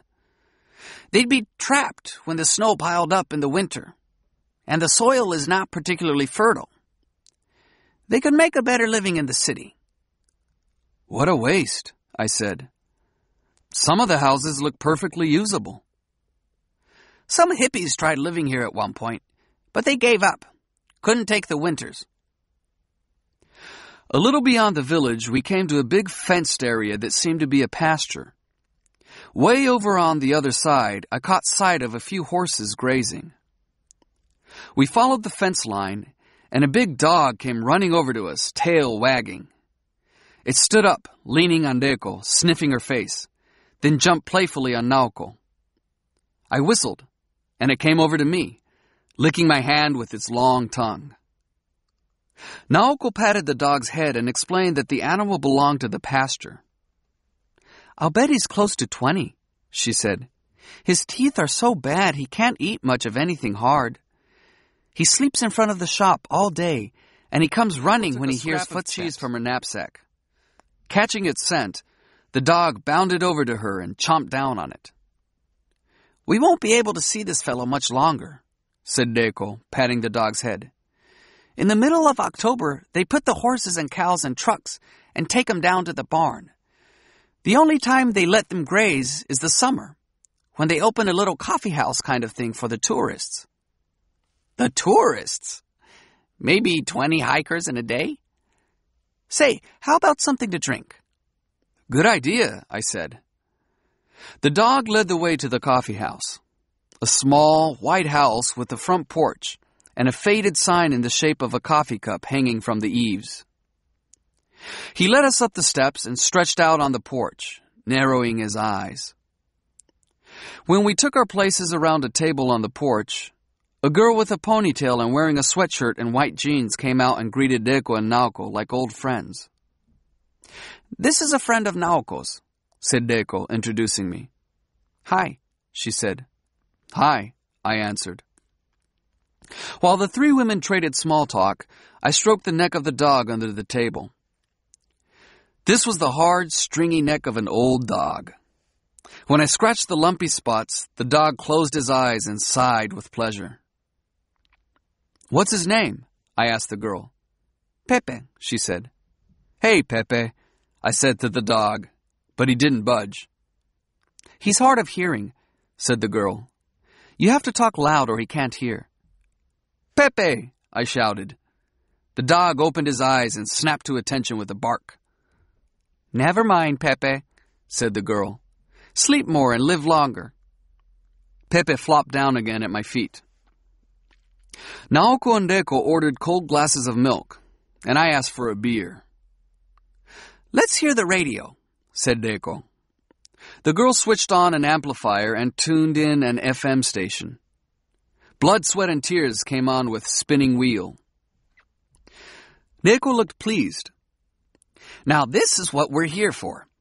We don't have radios in our rooms, so if I don't come here once in a while, I don't have any idea what's playing out there. Do you sleep in this place? I asked the girl. No way, she laughed. I'd die of loneliness if I spent the night here. The pasture guy drives me into town and I come out again in the morning. She pointed toward a four wheel drive truck parked in front of the nearby pasture office. You've got a vacation coming up soon, too, right? asked Reiko. Yeah, we'll be shutting up this place before too long, said the girl. Reiko offered her a cigarette, and the two had a smoke. I'll miss you, said Reiko. I'll be back in May, though, said the girl with a laugh. Cream came on the radio with White Room. After a commercial, it was Simon and Garfunkel's Scarborough, said Reiko when it was over. I saw the movie, I said. Who's in it? Dustin Hoffman? I don't know him, she said with a sad little shake of the head. The world changes like mad, and I don't know what's happening. She asked the girl for a guitar. Sure, said the girl, switching off the radio and bringing out an old guitar. The dog raised its head and sniffed the instrument. You can't eat this, Reiko said with mock sternness. A grass scented breeze swept over the porch. The mountains lay spread out before us, ridgelines sharp against the sky. It's like a scene from The Sound of Music, I said to Reiko as she tuned up. What's that? she asked. She strummed the guitar in search of the opening chord of Scarborough Fair. This was apparently her first attempt at the song, but after a few false starts, she got to where she could play it through without hesitating. She had it down pat the third time, and even started adding a few flourishes. Good ear, she said to me with a wink. I can usually play just about anything if I hear it three times. Softly humming the melody, she did a full rendition of Scarborough Fair. The three of us applauded, and Reiko responded with a decorous bow of the head. I used to get more applause for a Mozart concerto, she said. Her milk was on the house if she would play the Beatles' Here Comes the Sun, said the girl. Reiko gave her a thumbs up and launched into the song. Hers was not a full voice, and too much smoking had given it a husky edge, but it was lovely, with real presence. I almost felt as if the sun really were coming up again as I sat there listening and drinking beer and looking at the mountains. It was a soft, warm feeling. Reiko gave the guitar back and asked for more radio. Then she suggested to Naoko and me that we take an hour and hike around the area. I want to listen to the radio some more and hang out with her. If you come back by three, that should be okay.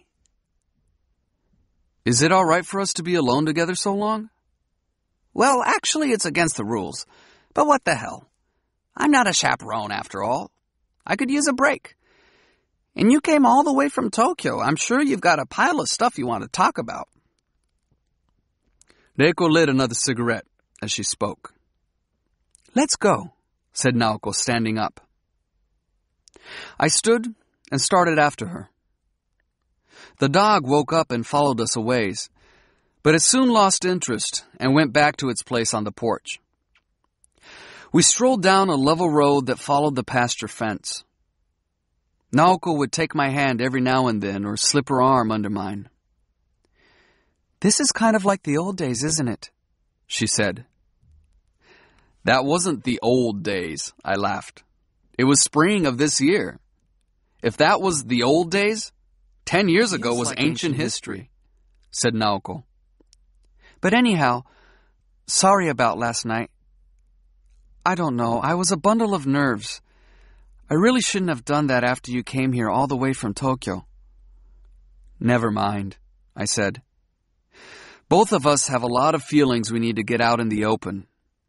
So if you want to take those feelings and smash somebody with them, smash me. Then we can understand each other better. So if you understand me better, what then? You don't get it, do you? I said. It's not a question of what then. Some people get a kick out of reading railroad timetables, and that's all they do all day. Some people make huge model boats out of matchsticks.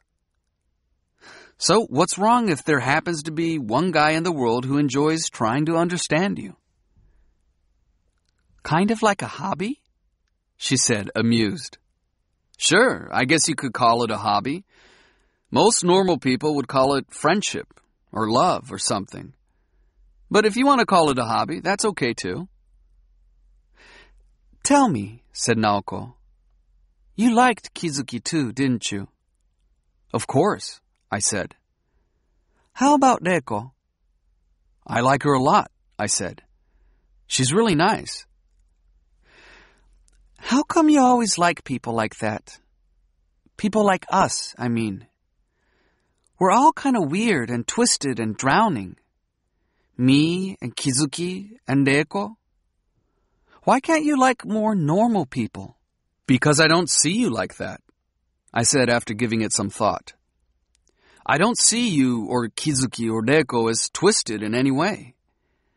The guys I think of as twisted are out there running around. But we are twisted, said Naoko. I can see that. We walked for a while in silence. The road left the fence and came out to a circular grassy field, ringed with trees as if it were a pond. Sometimes I wake up in the middle of the night so scared, said Naoko, pressing up against my arm. I'm scared I'll never get better again. I'll always stay twisted like this and grow old and waste away here. I get so chilled, it's like I'm all frozen inside. It's horrible. So cold. I put my arm around her and drew her close. I feel like Kizuki is reaching out for me from the darkness, calling to me. Hey, Naoko, we can't stay apart. When I hear him saying that, what I don't do know do? what to do. Well, don't take this the wrong way now. Okay, I won't. I ask Reiko to hold me. I wake her up and crawl into her bed and let her hold me tight. And I cry. And she strokes me until the ice melts and I'm warm again. Do you think it's sick? No, it's not sick. I wish I could be the one to hold you, though. I said. So hold me. Now. Right here. We sat down on the dry grass of the meadow and put our arms around each other. The tall grass surrounded us, and we could see nothing but the sky and clouds above. I gently lay Naoko down and took her in my arms. She was soft and warm, and her hands reached out for me. We kissed with real feeling. Tell me something, Toru, Naoko whispered in my ear. What's that? I asked. Do you want to sleep with me? Of course I do, I said. Can you wait? Of course I can wait. Before we do it again, I want to get myself a little writer. I want to make myself into a person writer for that hobby of yours. Will you wait for me to do that? Of course I'll wait. Are you hard now? You mean the soles of my feet? Silly? Naoko tittered. If you're asking whether I have an erection, of course I do. Will you do me a favor and stop saying of course? Okay. I'll stop. Is it difficult? What? To be all hard like that. Difficult? I mean, are you suffering? Well, it's all in how you look at it. Want me to help you get rid of it? With your hand? Uh huh. To tell you the truth, said Naoko, it's been sticking into me ever since we lay down. It hurts. I pulled my hips away. Better? Thanks. You know, I said. What? I wish she would do it. Okay, she said with a nice smile. Then she unzipped my pants and took my stiff penis in her hand. It's warm, she said. She started to move her hand, but I stopped her and unbuttoned her blouse, reaching around to undo her bra strap. I kissed her soft pink nipples. She closed her eyes and slowly started moving her fingers. Hey, you're pretty good at that, I said. Be a good boy and shut up, said Naoko. After I came, I held her in my arms and kissed her again, Naoko redid her bra and blouse, and I closed my zipper. Will that make it easier for you to walk? she asked. I owe it all to you. Well then, sir, if it suits you, shall we walk a little farther? By all means. We cut across the meadow, through a stand of trees, and across another meadow. Naoko talked about her dead sister, explaining that although she had hardly said anything about this to anyone, she felt she ought to tell me. She was six years older than me, and our personalities were totally different. But still, we were very close. We never fought, not once. It's true. Of course, with such a big difference in our ages, there was nothing much for us to fight about. Her sister was one of those girls who are tops in everything a super student, a super athlete, popular, a leader, kind, straightforward. The boys liked her. Her teachers loved her. Her walls were covered with certificates of merit. There's always one girl like that in any public school. I'm not saying this because she's my sister, but she never let any of this spoil her or make her the least bit stuck up or a show off. It's just that no matter what you gave her to do, she would naturally do it better than anyone else. So when I was little, I decided that I was going to be the sweet little girl. Naoko twirled a frond of plume grass as she spoke. I mean, you know, I grew up hearing everybody talking about how smart she was and how good she was at sports and how popular she was. Of course, I'm going to figure there's no way I could ever compete with her. My face, at least, was a little prettier than hers, so I guess my parents decided they'd bring me up cute. Right from the start, they put me in that kind of school. They dressed me in velvet dresses and frilly blouses and patent leather shoes and gave me piano lessons and ballet lessons. This just made my sister even crazier about me. You know, I was her cute little sister. She'd give me these cute little presents and take me everywhere with her and help me with my homework. She even took me along on dates. She was the best big sister anyone could ask for. Nobody knew why she killed herself. The same as with Kizuki. Exactly the same. She was 17 too, and she never gave the slightest hint she was going to commit suicide. She didn't leave a note either. Really, it was exactly the same, don't you think? Everybody said Sounds she was like too it. smart or she read too many books. And she did read a lot. She had tons of books. I read a bunch of them after she died, and it was so sad. They had her comments in the margins and flowers pressed between the pages and letters from boyfriends. And every time I came across something like that, I'd cry. I cried a lot. Naoko fell silent for a few seconds, twirling the grass again. She was the kind of person who took care of things by herself. She'd never ask anybody for advice or help. It wasn't a matter of pride, I think. She just did what seemed natural to her. My parents were used to this and figured she'd be okay if they left her alone. I would go to my sister for advice, and she was always ready to give it. But she never went to anybody else. She did what needed to be done on her own. She never got angry or moody. This is all true. I mean it. I'm not exaggerating. Most girls, when they have their period or something, will get grumpy and take it out on other people. But she never even did that. Instead of going into a bad mood, she would become very subdued. Maybe once in two or three months this would happen to her. She'd shut herself up in her room and stay in bed, take off from school, hardly eat a thing, turn the lights off and space out. She wouldn't be in a bad mood, though. When I came home from school, she'd call me into her room and sit me down next to her and ask me about my day. I'd tell her all the little things, like what kinds of games I played with my friends, or what the teacher said, or my test grade, stuff like that. She'd take in every detail and make comments and suggestions. But as soon as I left, to play with a friend, say, or go for a ballet lesson, she'd space out again.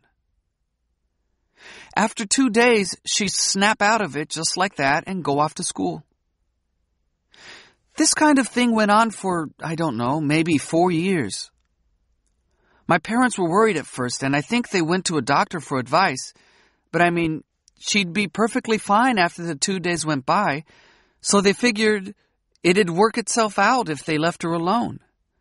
She was such a bright, steady girl.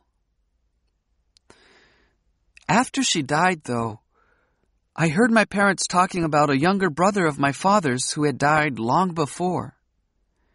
He had also been very bright, but he had stayed shut up in the house for four years, from the time he was 17 until he was 21. And then suddenly one day, he left the house and jumped in front of a train. My father said, Maybe it's in the blood, from my side.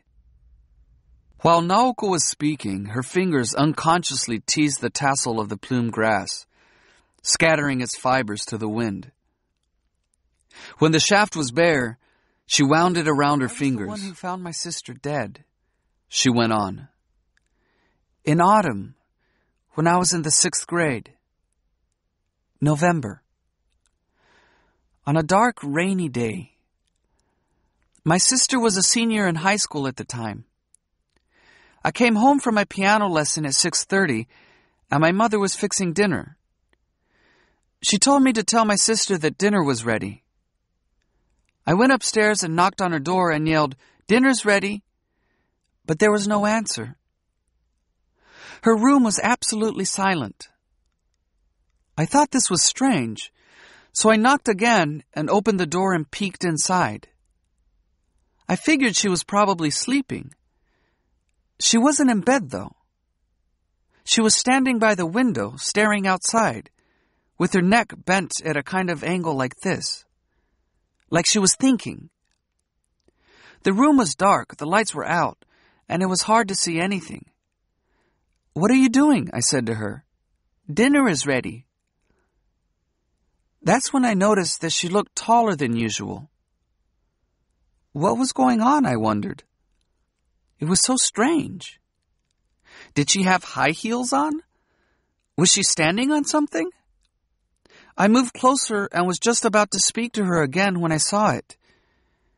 There was a rope above her head. It came straight down from a beam in the ceiling. I mean, it was amazingly straight, like somebody had drawn a line in space with a ruler. My sister had a white blouse on.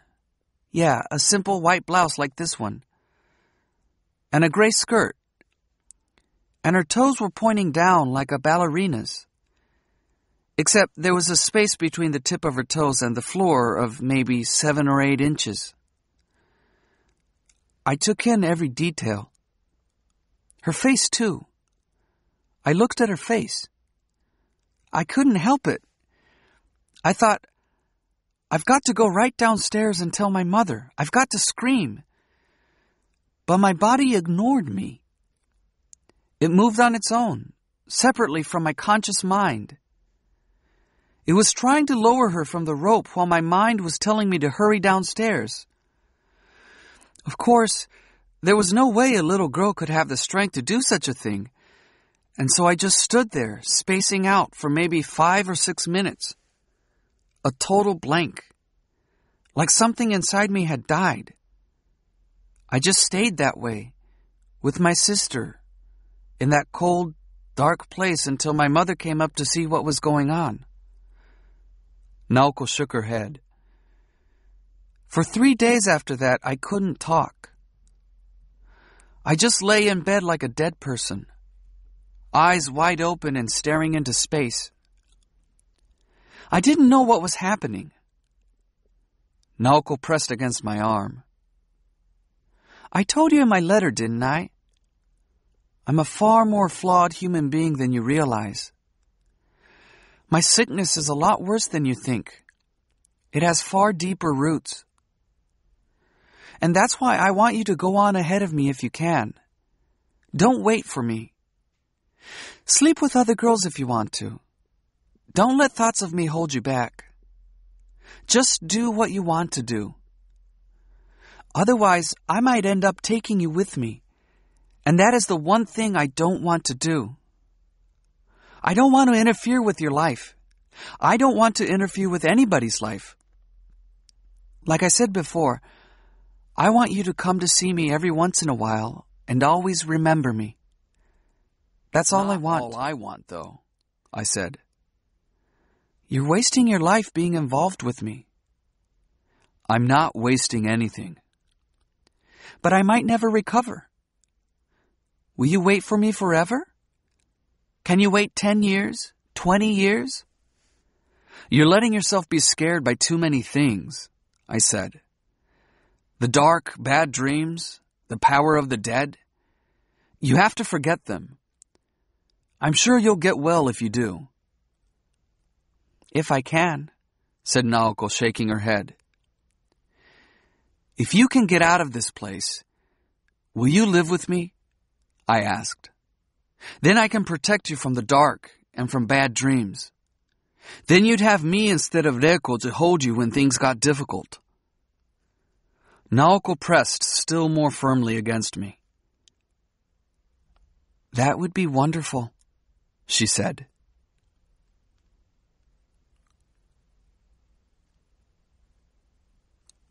We got back to the coffee house a little before three. Reiko was reading a book and listening to Brahms' second piano concerto on the radio. There was something wonderful about Brahms playing at the edge of a grassy meadow without a sign of people as far as the eye could see. Reiko was whistling along with the cello passage opening the third movement. Backhaus and Böhm, she said. I wore this record out once, a long time ago. Literally. I wore the grooves out listening to every note. I sucked the music right out of it. Naoko and I ordered coffee. Do a lot of talking? asked Reiko. Tons, said Naoko. Tell me all about his, uh, you know, later. We didn't do any of that, said Naoko, reddening. Really? Reiko asked me. Nothing? Nothing, I said. Boring, she said with a bored look on her face. True, I said, sipping my coffee. The scene in the dining hall was the same as it had been the day before. The mood, the voices, the faces. Only the menu had changed. The balding man in white, who yesterday had been talking about the secretion of gastric juices under weightless conditions, joined the three of us at our table and talked for a long time about the correlation of brain size to intelligence. As we ate our soybean hamburger steaks, we heard all about the volume of Bismarck's brain and Napoleon's. He pushed his plate aside and used a ballpoint pen and notepaper to draw sketches of brains. He would start to draw, declare, no, that's not quite it, and start a new one. This happened any number of times. When he was through, he carefully put the remaining notepaper away in a pocket of his white jacket and slipped the pen into his breast pocket. He had a total of three pens in that pocket, along with pencils and a ruler. When he was through eating, he repeated what he had told me the day before. The winters here are nice. Make sure you come back when it's winter. And left the dining hall. a doctor or a patient? I asked Reiko. Which do you think? I really can't tell. In either case, he doesn't seem all that normal. He's a doctor, said Naoko. Dr. Miyata. Yeah, said Reiko. But I bet he's the craziest one here. Mr. Omura, the gatekeeper, is pretty crazy too, answered Naoko. True, said Reiko, nodding as she stabbed her broccoli. He does these wild calisthenics every morning, screaming nonsense at the top of his lungs. And before you came, Naoko, there was a girl in the business office, Miss Kinoshita, who tried to kill herself. And last year, they fired a male nurse, Tokushima, who had a terrible drinking problem. Sounds like patients and staff could trade places, I said. Right on, said Reiko, waving her fork in the air. I guess you're finally starting to figure out how things work here. I guess. What makes us most normal, said Reiko, is knowing that we're not normal.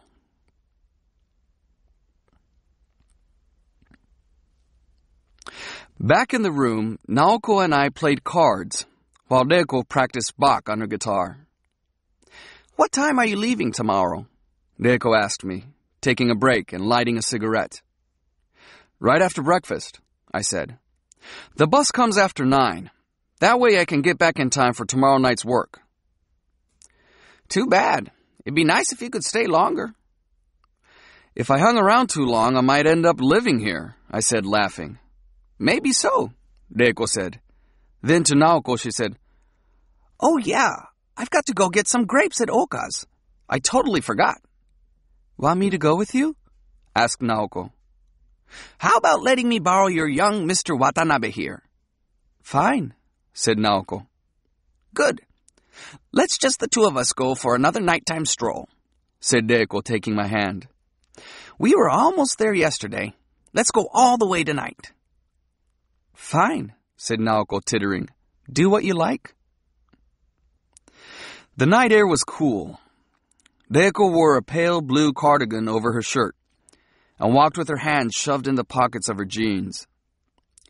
Looking up at the sky, she sniffed the breeze like a dog. Smells like rain, she said. I tried sniffing too, but couldn't smell anything. True, there were lots of clouds in the sky obscuring the moon. If you stay here long enough, you can pretty much tell the weather by the smell of the air, said Reiko. We entered the wooded area where the staff houses stood. Reiko told me to wait a minute and walked over to the front door of one house where she rang the bell. A woman came to the door, no doubt the lady of the house, and stood there chatting and chuckling with Reiko. Then she ducked inside and came back with a large plastic bag. Reiko thanked her and said good night before returning to the spot where I was opening the bag. The bag held a huge pile of grapes in clusters. Do you like grapes? I sure do. She handed me the topmost bunch. It's okay to eat them, they're washed.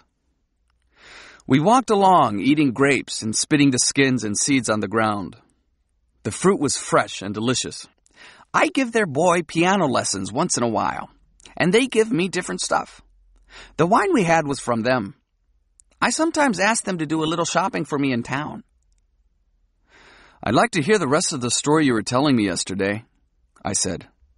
Fine, said Reiko. But if we keep coming home late, Naoko might start getting suspicious. I'm willing to risk it. Okay, then. I want a roof, though. It's a little chilly tonight. She turned left as we approached the tennis courts. We went down a narrow stairway and came out to a spot where several storehouses stood like a block of row houses. Reiko opened the door of the nearest one, stepped in, and turned on the lights. Come in, she said. It's a nothing kind of place, though. The storehouse contained neat rows of cross-country skis, boots, and poles, and on the floor were piled snow removal equipment and bags of rock salt. I used to come here all the time for guitar practice, when I wanted to be alone. Nice and cozy, isn't it? Reiko sat on the bags of rock salt and invited me to sit next to her. I did as I was told. Not much ventilation here, but mind if I smoke? Sure, go ahead, I said. This is one habit I can't seem to break, she said with a frown. But she lit up with obvious enjoyment. Not many people enjoy tobacco as much as Reiko did. I ate my grapes, carefully peeling them one at a time and tossing the skins and seeds into a tin that served as a wastebasket. Now, let's see. How far did we get last night? Reiko asked. It was a dark and stormy night, and you were climbing the steep cliff to grab the bird's nest. You're amazing the way you can joke around with such a straight face, said Reiko. Let's see. I think I had gotten to where I was giving piano lessons to the girl every Saturday morning. That's it. Assuming you can divide everybody in the world into two groups those who are good at teaching things to people, and those who are not. I pretty much belong to the first group, said Reiko. I never thought so when I was young, and I guess I didn't want to think of myself that way. But I realized it was true when I had attained a degree of self knowledge after I had reached a certain age. I'm good at teaching people things. Really good. I have a lot more I'll bet you patience for others than I have for myself. And I'm much better at bringing out the best in others than in myself. That's just the kind of person I am. I'm the scratchy stuff on the side of the matchbox.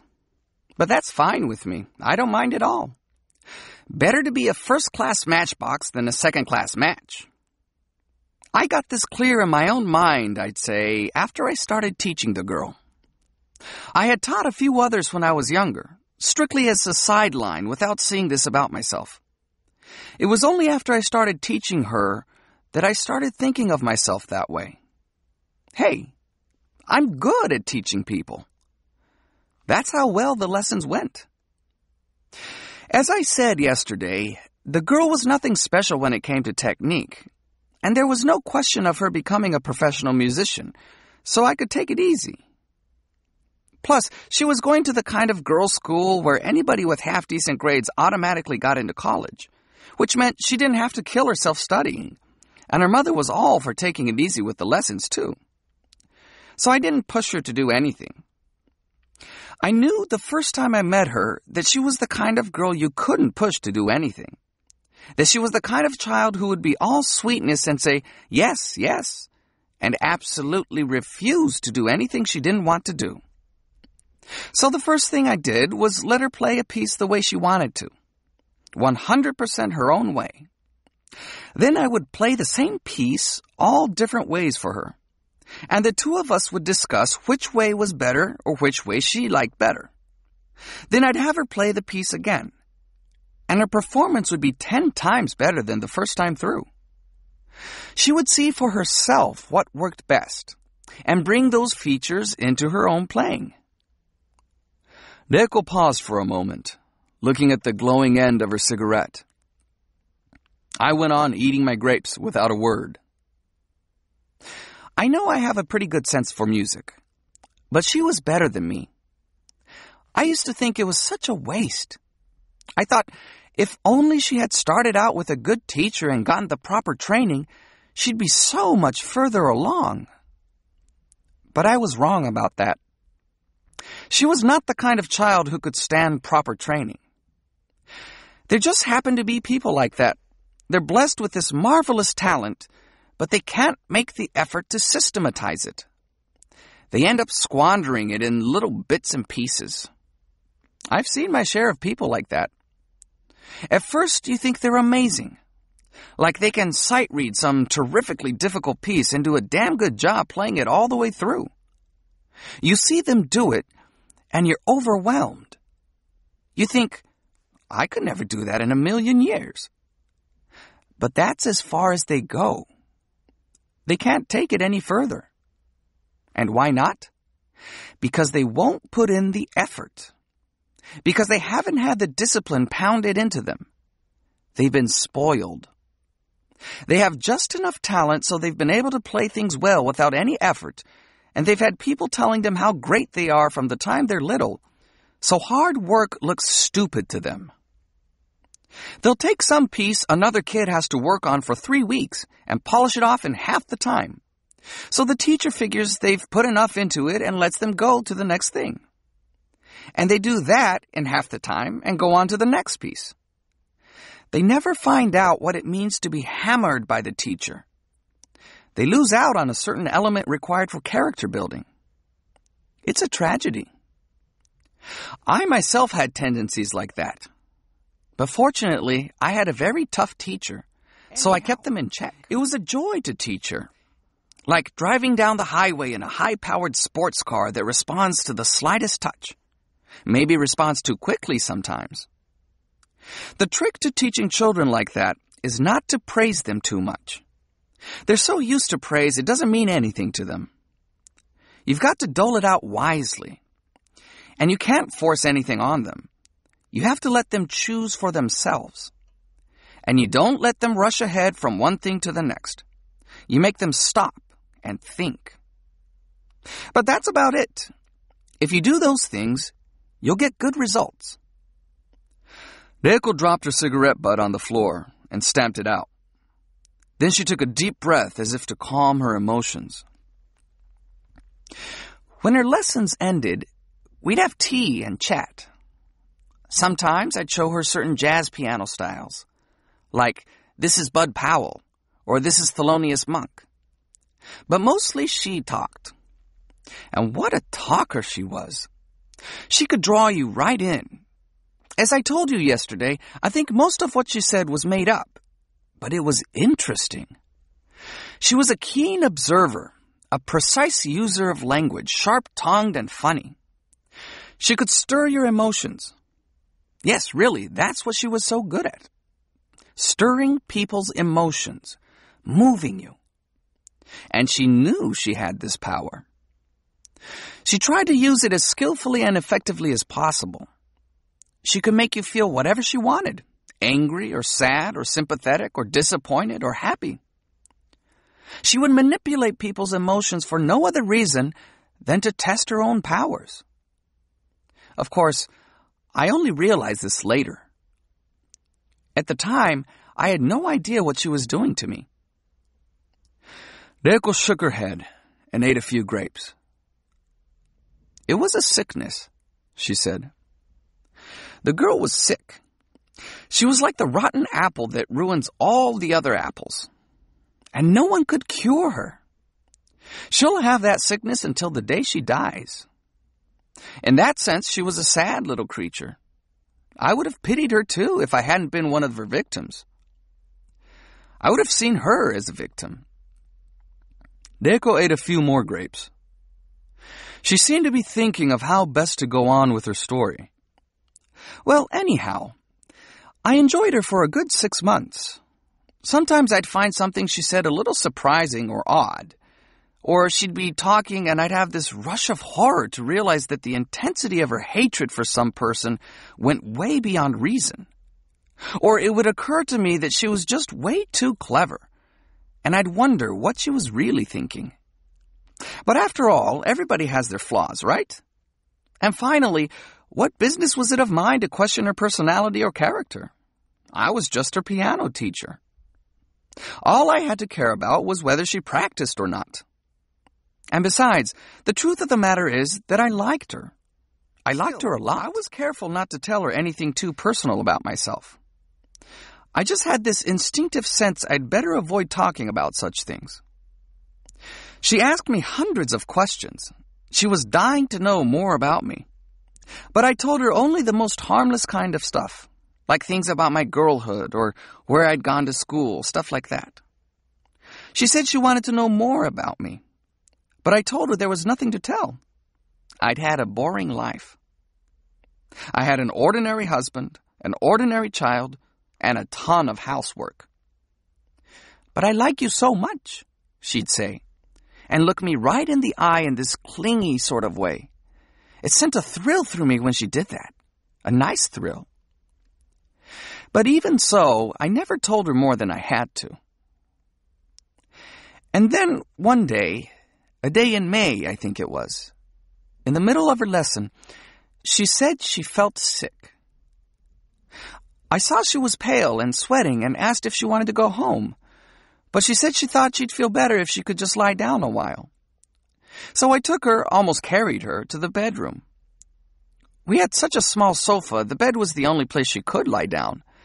She apologized for being a bother, but I assured her it was no bother and asked if she wanted anything to drink.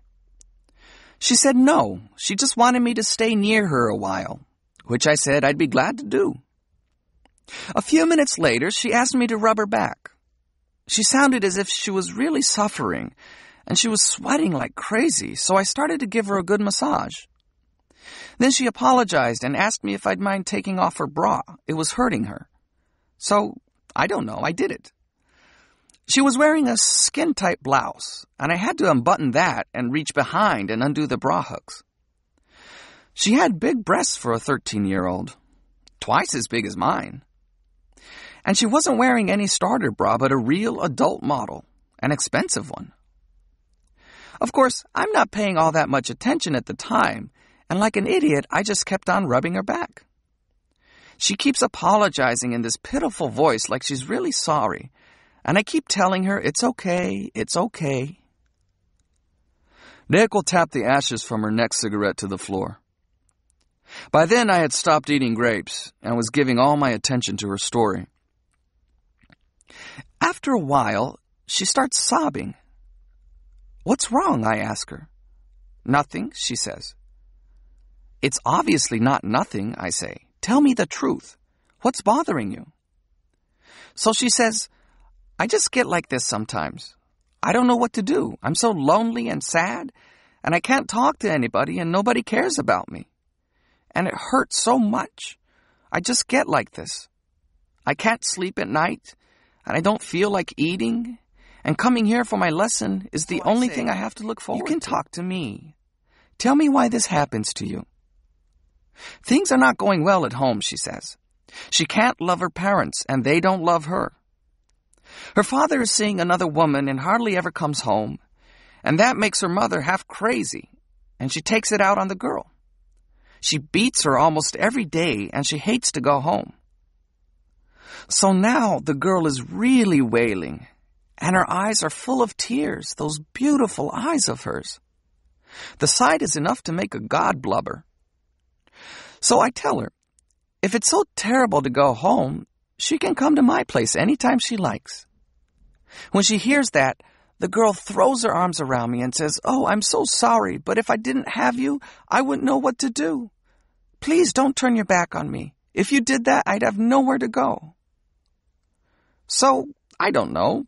I hold her head against me and I'm caressing her and saying, There, there. And she's got her arms around me and she's stroking my back.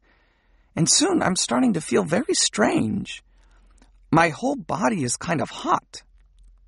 I mean, here's this picture perfect, beautiful girl, and I'm on the bed with her, and we're hugging, and her hands are caressing my back in this incredibly sensual way that my own husband couldn't begin to match. And I feel all the screws coming loose in my body every time she touches me.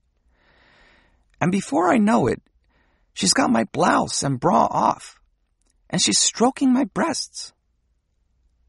So that's when it finally hits me that she's an absolute dyed in the wool lesbian. This had happened to me once before in high school, one of the upper class girls. So then I tell her to stop. Oh, please, she says, just a little more. I'm so lonely. I'm so lonely. Please believe me. You're the only one I have. Oh, please don't turn your back on me. And she takes my hand and puts it on her breast her very nicely shaped breast, and sure, I'm a woman, but this electric something goes through me when my hand makes contact. I have no idea what to do. I just keep repeating, no, no, no, no, no, like an idiot. I'm like paralyzed. I can't move. I had managed okay to push the girl away in high school, but now I can't do a thing. My body won't take orders. She's holding my right hand against her with her left hand, and she's kissing and licking my nipples, and her right hand is caressing my back and side and bottom. So here I am in the bedroom with the curtains closed, and a 13 year old girl has me practically naked. She's been taking my clothes off somehow all along and touching me all over, and I'm writhing with the pleasure of it. Looking back on it now, it seems incredible. I mean, it's crazy, don't you think? But at the time, it was like she had cast a spell on take me. Take a puff on a cigarette. You know, this is the first time I've ever told a man about this, she said, looking at me. I'm telling it to you because I think I ought to. But I'm finding it awfully embarrassing. I'm sorry, I said, because I didn't know what else to say. This went on for a while. And then her right hand started to move down, and she touched me through my panties. By then, I was absolutely soaking wet. I'm ashamed to say it, but I've never been so wet before or since. I had always thought of myself as kind of indifferent to sex, so I was astounded to be getting so worked up. So then she puts these slim, soft fingers of hers inside my panties, and, well, you know, I can't bring myself to put it into words. I mean, it was totally different from when a man puts his clumsy hands on you there. It was amazing. Really. Like feathers or down. I thought all the fuses in my head were going to pop. Still, somewhere in my fogged over brain, the thought occurred to me that I had to put a stop to this. If I let it happen once, I'd never stop. And if I had to carry around a secret like that inside me, my head was going to get completely messed up again. I thought about my daughter, too. What if she saw me like this? She was supposed to be at my parents' house until 3 on Saturdays. But what if something happened and she came home unexpectedly? This helped me to gather my strength and raise myself on the bed. Stop it now, please, stop, I shouted. But she wouldn't stop. Instead, she yanked my panties down and started using her tongue. I had rarely let even my husband do that. I found it so embarrassing. But now I had a 13 year old girl licking me all over down there. I just gave up. All I could do was cry. And it was absolutely paradise. Stop it! I yelled one more time and smacked her on the side of the face as hard as I could. Finally, she stopped and raised herself up and looked into my eyes. The two of us were stark naked, on our knees in bed, staring at each other. She was 13. I was 31. But I don't know, looking at that body of hers, I felt totally overwhelmed. The image is still vivid in my mind. I could hardly believe I was looking at the body of a 13 year old girl and I still can't believe it. By comparison, what I had for a body was enough to make you cry, believe me. There was nothing I could say, and so I said oh, nothing. She says to me, You like it this way, don't you? I knew you would the first time I met you. I know you like it. It's way better than doing it with a man, isn't it? Look how wet you got. I can make you feel even better if you'll let me. It's true. I can make you feel like your body's melting away.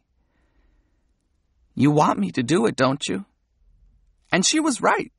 Doing this with her was much better than doing it with my husband. And I did want her to do it even more. But I couldn't let it happen.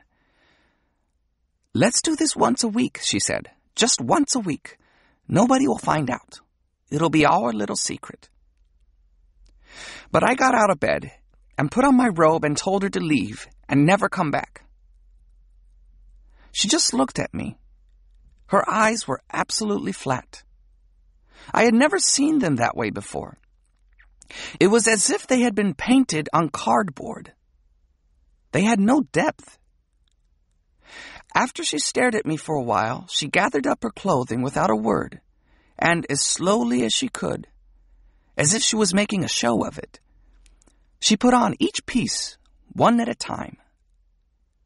Then she went back into the room where the piano was and took a brush from her bag. She brushed her hair and wiped the blood from her lips with a handkerchief, put on her shoes, and went out. As she was leaving, she said, You're a lesbian, you know. It's true. You may try to hide it, but you'll be a lesbian until the day you die. Is it true? I asked. Reiko curved her lips and thought for a while. Well, it is and it isn't. I definitely felt better with her than with my husband. That's a fact. I had a time there when I really agonized over the question. Maybe I really was a lesbian and just hadn't noticed until then. But I don't think so anymore. Which is not to say I don't have the tendencies. I probably do have them. But I'm not a lesbian in the proper sense of the term. I never feel desire when I look at a woman. Know what I mean? I nodded. Certain kinds of girls, though, do respond to me, and I can feel it when that happens. Those are the only times it comes out in me. I can hold Naoko in my arms, though, and feel nothing special. We go around in the apartment practically naked when the weather is hot. And we take baths together, sometimes even sleep in the same bed. But nothing happens. I don't feel a thing. I can see that she has a beautiful body, but that's all. Actually, Naoko and I played a game once. We made believe we were lesbians. Want to hear about it? When Sure. the story Tell I just me. told you, We tell each other everything, you know. Naoko tried an experiment. The two of us got undressed, and she tried caressing me. But it didn't work at all. It just tickled. I thought I was going to die laughing. Just thinking about it makes me itchy. She was so clumsy. I'll bet you're glad to hear that. Yes, I am, to tell the truth. Well, anyway, that's about it, said Reiko, scratching near an eyebrow with the tip of her little finger. After the girl left my house, I found a chair and sat there spacing out for a while, wondering what to do. I could hear the dull beating of my heart from deep inside my body. My arms and legs seemed to weigh a ton, and my mouth felt as if I had eaten a moth or something. It was so dry. I dragged myself to the bathtub, though, knowing my daughter would be back soon. I wanted to clean those places where the girl had touched and licked me. I scrubbed myself with soap, over and over. But I couldn't seem to get rid of the slimy feeling she had left behind. I knew I was probably imagining it, but that didn't help. That night, I asked my husband to make love to me, kind of as a way to get rid of the defilement. Of course, I didn't tell him anything. I couldn't.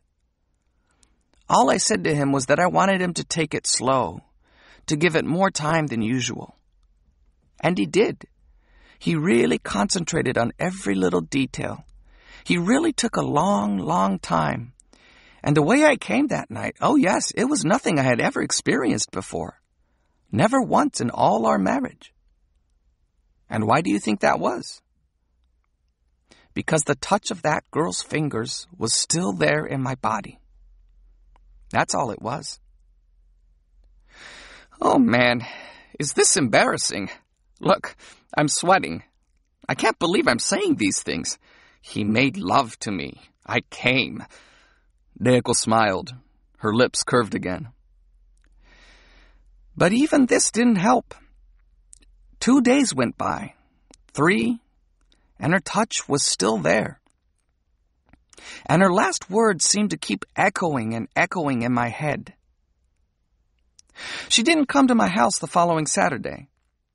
My heart was pounding all day long while I waited, wondering what I would do if she showed up. I couldn't concentrate on anything. She never did come, though. Of course. She was a proud young thing, and she had failed with me in the end. She didn't come the next week either, nor the week after that, and soon a month went by. I figured that I would be able to forget about what had happened when enough time went by, but I couldn't forget. When I was alone in the house, I would feel her presence, and my nerves would be on edge. I couldn't play the piano.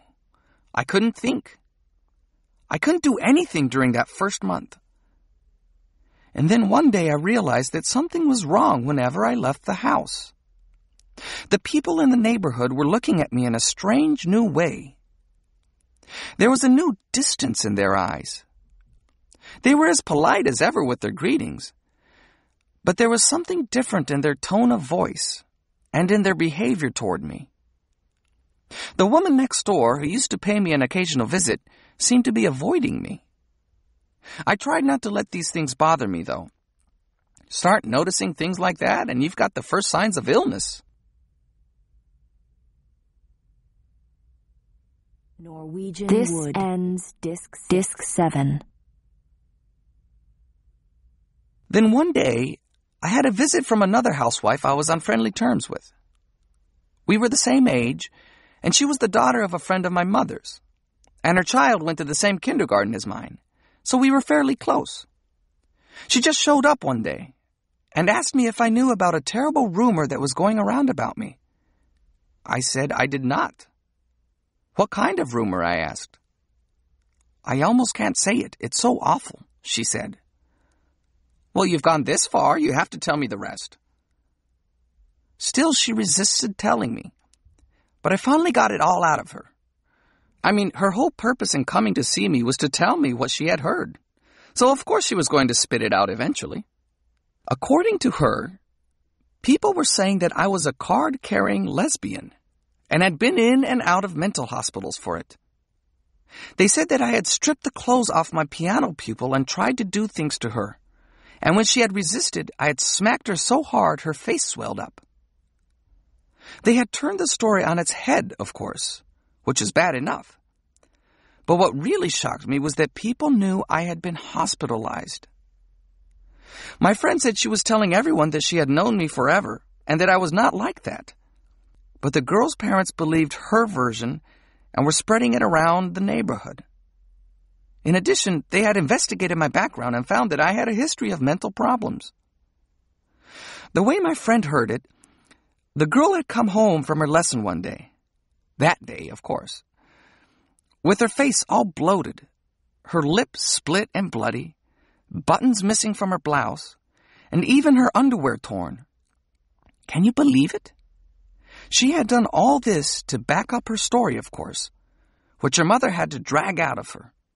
I can just see her doing it, putting blood on her blouse, tearing buttons off, ripping the lace on her bra, making herself cry until her eyes were red, messing up her hair, telling her mother a bucket of lies. Not that I'm blaming people for believing her. I would have believed her too, this beautiful doll with a devil's tongue. She comes home crying. She refuses to talk because it's too embarrassing. But then she spills it out. Of course people are going to believe her. And to make matters worse, it's true. I do have a history of hospitalization for mental problems. I did smack her in the face as hard as I could. Who's going to believe me? Maybe my husband is all. A few more days went by while I wrestled with the question of whether to tell him or not. But when I did, he believed me. Of course. I told him everything that had happened that day. The kind of lesbian things she did to me. The way I smacked her in the face. Of course, I didn't tell him what I had felt. There's no way I could have told him that. So anyway, he got furious and insisted that he was going to go straight to the girl's family. He said, You're a married woman after all. You're married to me, and you're a mother. There's no way you're a lesbian. What a go. goddamn joke. All he could do was make things worse. Really, I knew. I knew she was sick. I had seen hundreds of sick people, so I knew. The girl was rotten inside. Peel off a layer of that beautiful skin, and you'd find nothing but rotten flesh. I know it's a terrible thing to say, but it's true. And I knew that ordinary people could never know the truth about her, that there was no way we could win. She was an expert at manipulating the emotions of the adults around her, and we had nothing to prove our case. First of all, who's going to believe that a 13 year old girl set a homosexual trap for a woman in her 30s? No matter what we said, people would believe what they wanted to believe. The more we struggled, the more vulnerable we'd be. There was only one thing for us to do, I said. We had to move. If I stayed in that neighborhood any longer, the stress would get to me. My mind would snap again.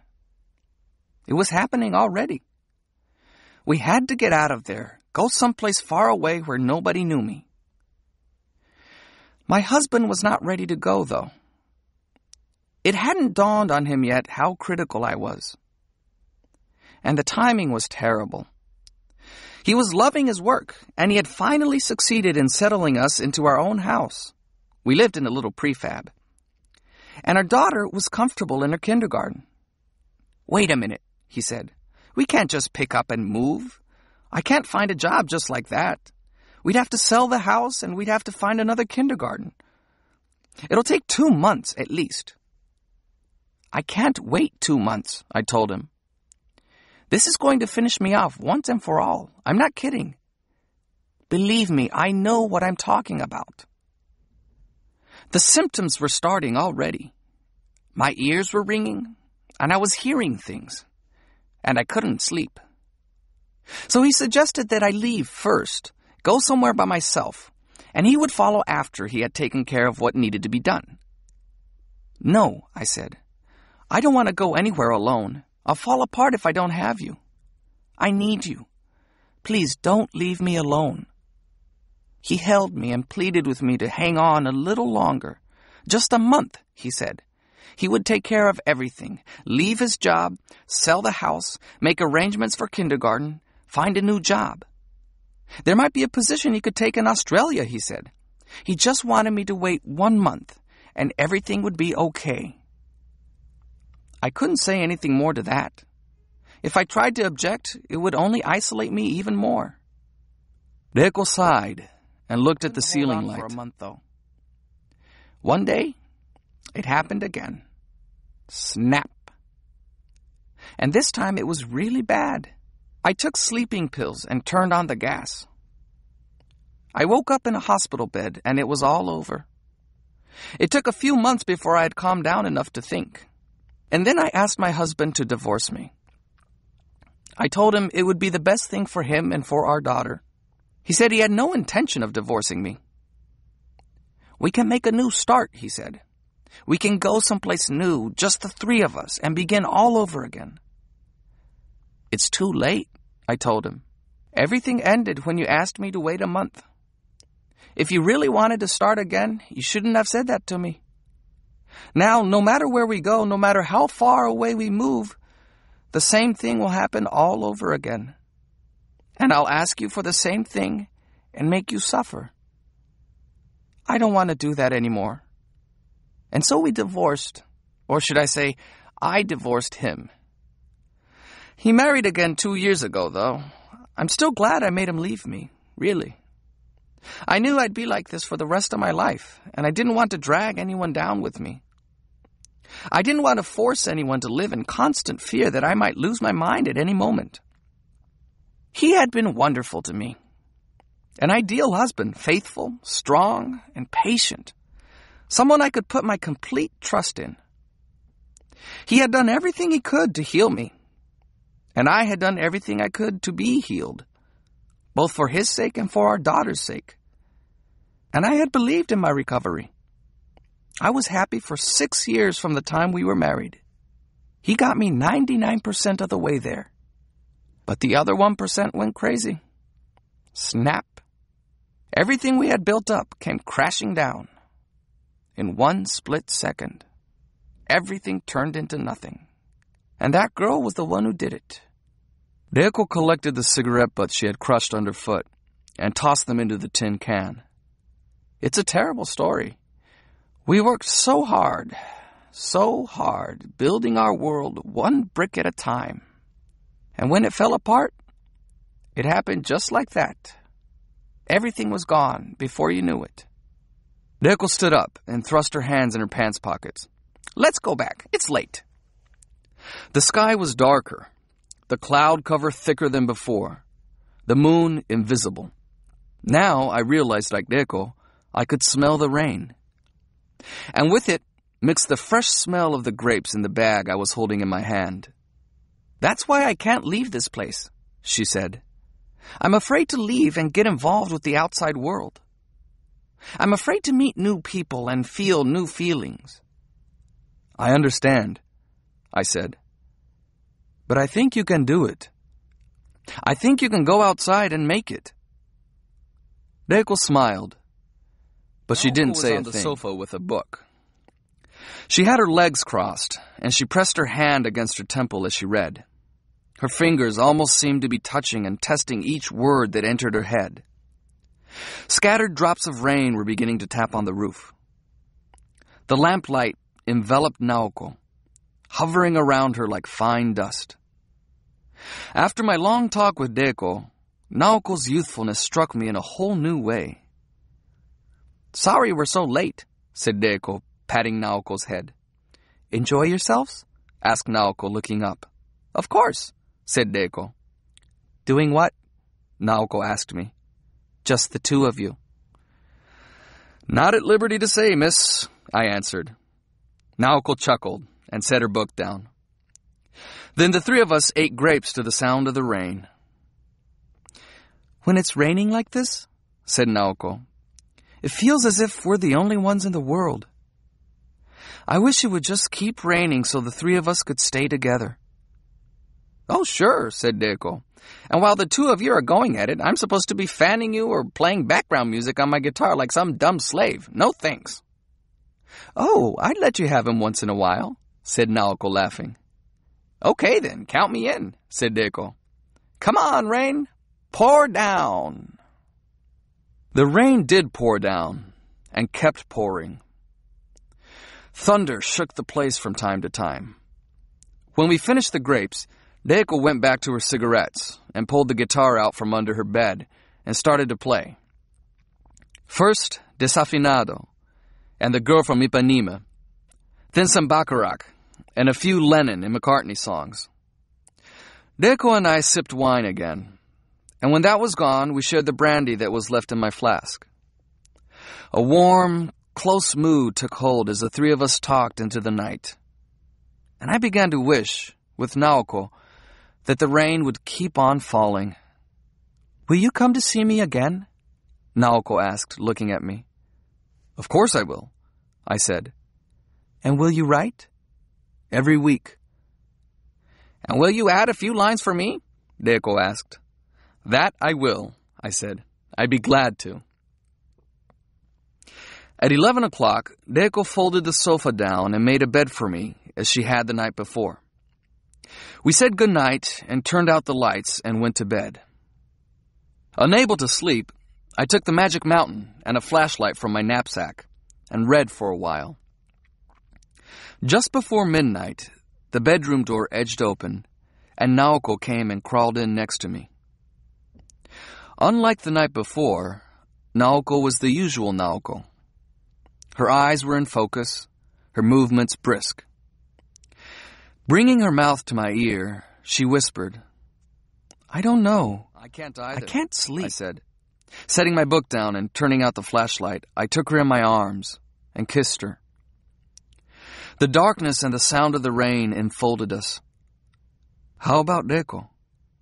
Don't worry, she's sound asleep. And when she sleeps, she sleeps. Then Naoko asked, Will you really come to see me again? I will for sure. Even if I can't do anything for you? I nodded in the darkness. I could feel the full shape of her breasts against me. I traced the outline of her body through her gown with the flat of my hand. From shoulder to back to hips, I slid my hand again and again, driving the line and the softness of her body into my brain. After we had been in this gentle embrace for a while, Naoko touched her lips to my forehead and slipped out of bed. I could see her pale blue gown flash in the darkness like a fish. Goodbye, she called in a tiny voice. Listening to the rain, I dropped into a gentle sleep. It was still raining the following morning. A fine, almost invisible autumn rain, unlike the previous night's downpour. You knew it was raining only because of the ripples on puddles and the sound of dripping from the eaves. I woke to see a milky white mist enclosing the window. But as the sun rose, a breeze carried the mist away, and the surrounding woods and hills began to emerge. As we had done the day before, the three of us ate breakfast and headed out to service the birdhouse. Naoko and Reiko wore yellow vinyl rain capes with hoods. I put on a sweater and a waterproof windbreaker. The outside air was damp and chilly. The birds, too, seemed to be avoiding the rain, huddled together at the back of the cage. Gets cold here when it rains, doesn't it? I said to Reiko. Now, every time it rains, it'll be a little colder until it turns to snow, she said. The clouds from the Sea of Japan dump tons of snow when they pass through here. What do you do with the birds in winter? Bring them inside, of course. What are we supposed to do? Dig them out of the snow in spring, all frozen? We defrost them and bring them back to life and yell, Okay, everybody, come and get it. I poked the wire mesh and the parrot flapped its wings and screamed, Shithead! Thank you! Crazy! Now that one I'd like to freeze, Naoko said with a melancholy look. I really think I will go crazy if I have to hear that every morning. After cleaning the birdhouse, we went back to the apartment. While I packed my things, the women put their farm gear on. We left the building together and parted a short way beyond the tennis court. They turned right, and I continued straight ahead. We called goodbye to each other, and I promised I would come again. Naoko gave a little smile and disappeared around the corner. a number of people on my way to the gate, all of them wearing the same yellow rain capes that Naoko and Reiko had on, all with hoods up. Colors shone with exceptional clarity in the rain. The ground was a deep black, the pine branches a brilliant green, the people wrapped in yellow, looking like special spirits that were allowed to wander over the earth on rainy mornings only. They floated over the earth in silence, carrying farm tools and baskets and some kind of sack. The gatekeeper remembered my name and marked it on the list of visitors when I went out. I see you're from Tokyo, the old fellow said. I went there once. Just once. They serve great pork. They do? I asked, uncertain how to answer him. I didn't like much of what I ate in Tokyo, but the pork was delicious. I guess they've got some special way of raising them, huh? I said I didn't know. It was the first time I'd heard of it. When was that, by the way, when you went to Tokyo? Hmm, let's see, he said, cocking his head. Was it the time His Majesty the Crown Prince got married? My son was in Tokyo and said I ought to see the place at least once. That time. 1959. Oh, well then, sure, pork must have been good in Tokyo back then, I said. How about these days? he asked. I wasn't sure, I said, but I hadn't heard anything special about it. This seemed to disappoint him somewhat. He gave every sign of wanting to continue our conversation, but I told him I had to catch a bus and started walking in the direction of the road. Patches of fog remained floating on the road where it skirted the stream, but the breeze carried them over to the steep flanks of a nearby mountain. Every now and then, as I walked along, I would stop and turn and heave a sigh for no particular reason. I felt almost as if I had come to a planet where the gravity was a little different. Yes, of course, I told myself, feeling sad. I was in the outside world now. Back at the dorm by 4:30, I changed right away and left for the record shop in Shinjuku to put in my hours. I minded the store from 6 o'clock to 10.30 and sold a few records. But mainly, I sat there in a daze, watching the incredible variety of people streaming by outside. There were families and couples and drunks and gangsters and lively looking girls in short skirts and bearded hippies and bar hostesses and some indefinable types. Whenever I put on hard rock, hippies and runaway kids would gather outside to dance and sniff paint thinner or just sit on the ground doing nothing in particular. And when I put on Tony Bennett, they would disappear. Was a shop where a middle-aged, sleepy-eyed guy sold adult toys. I couldn't imagine why anyone would want the kind of sex paraphernalia he had there, but he seemed to do a lot of business. In the alley diagonally across from the record store I saw a drunken student vomiting. In the game center across from us at another angle, the cook from a local eatery was killing his break time with a game of bingo that took cash bets.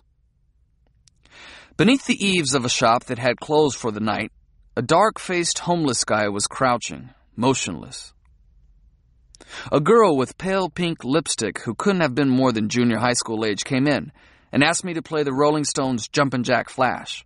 When I found the disc and put it on for her, she started snapping her fingers to the rhythm and shaking her hips as she danced around the shop. Then she asked me for a cigarette.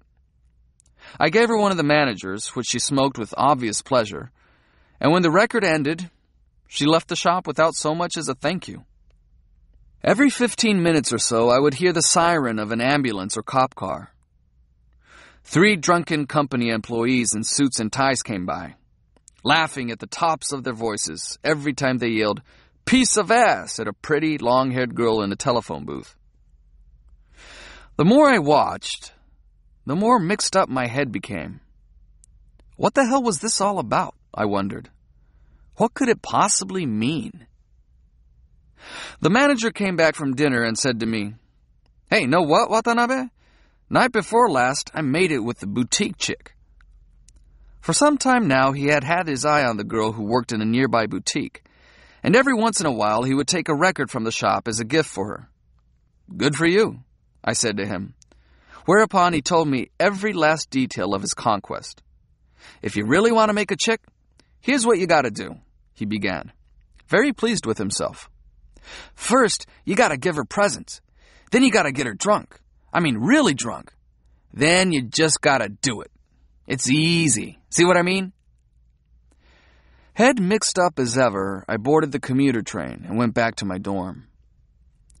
Closing the curtains, I doused the lights, stretched out in bed, and felt as if Naoko might come crawling in beside me at any moment. With my eyes closed, I could feel the soft swell of her breasts on my chest, hear her whispering to me, and feel the outline of her body in my hands.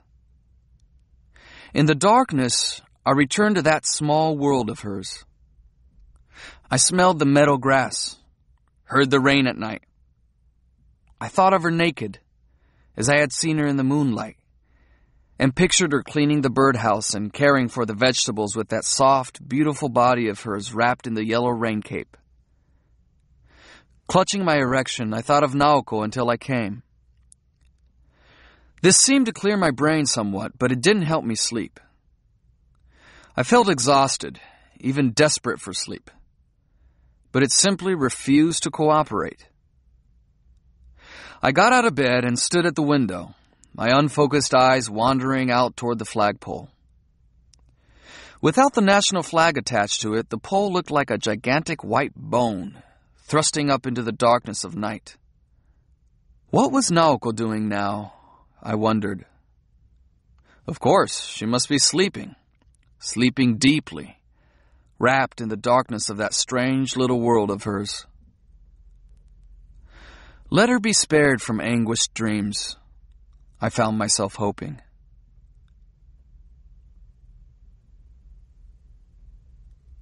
Chapter 7 In PE class the next morning, Thursday, I swam several lengths of the 50 meter pool.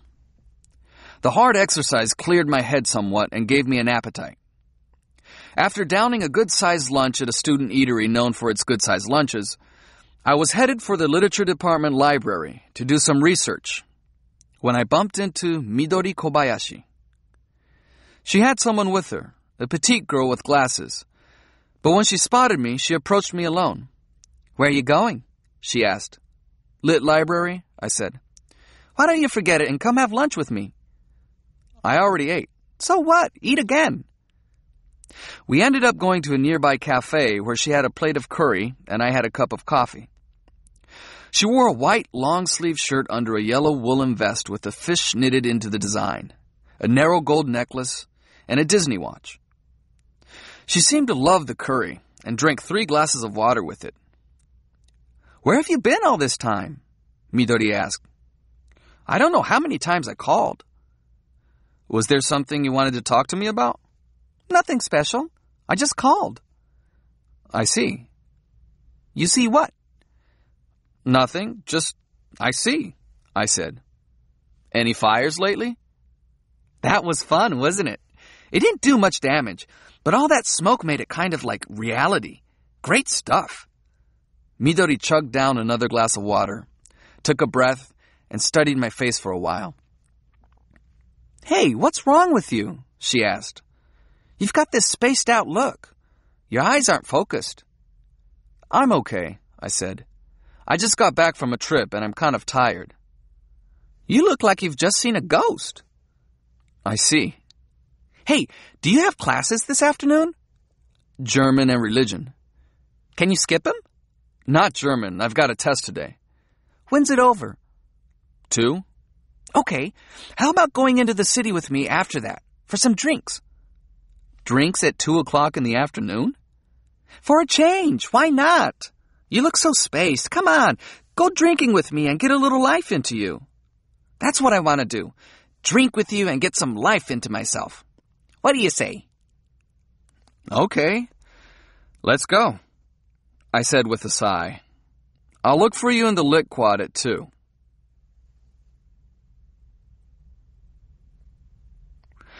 After German, we caught a bus to Shinjuku and went to an underground bar called DUG behind the Kinokuniya bookstore. We each started with two vodka and tonics. I come here once in a while, she said. They don't embarrass you about drinking in the afternoon. Do you drink in the afternoon a lot? Sometimes, she said, rattling the ice in her glass. Sometimes when the world gets hard to live in, I come here for a vodka and tonic. Sometimes, said Midori. I've got my own special little problems. Like what? Like family? Like boyfriends? Like irregular periods? Stuff. So have another drink. I will. I waved the waiter over and ordered two more vodka and tonics. Remember how when you came over that Sunday, you kissed me? Midori asked. I've been thinking about it. That was nice. Really nice. That's nice. That's nice. She mimicked me. The way you talk is so weird. It is? Anyhow, I was thinking that time. I was thinking how great it would be if that had been the first time in my life a boy had kissed me. If I could switch around the order of my life, I would absolutely, absolutely make that my first kiss. And then I would live the rest of my life thinking stuff like, hey, I wonder what happened to that boy named Watanabe I gave my first kiss to on the laundry deck now that he's 58. Wouldn't that be great? Yeah, really, I said, cracking open a pistachio nut. Hey, what is it with you? Why are you so spaced out? You still haven't answered me. I probably still haven't completely adapted to the world, I said after giving it some thought. I don't know. I feel like this isn't the real world. The people, the scene, they just don't seem real to me. Midori rested an elbow on the bar and looked at me. There was something like that in a Jim Morrison song, I'm pretty sure. People are strange when you're a stranger. Peace, said Midori. Peace, I said. You really ought to go to Uruguay with me, Midori said, still leaning on the bar. Girlfriend, family, school? Just dump 'em all. Not a bad idea, I said, laughing.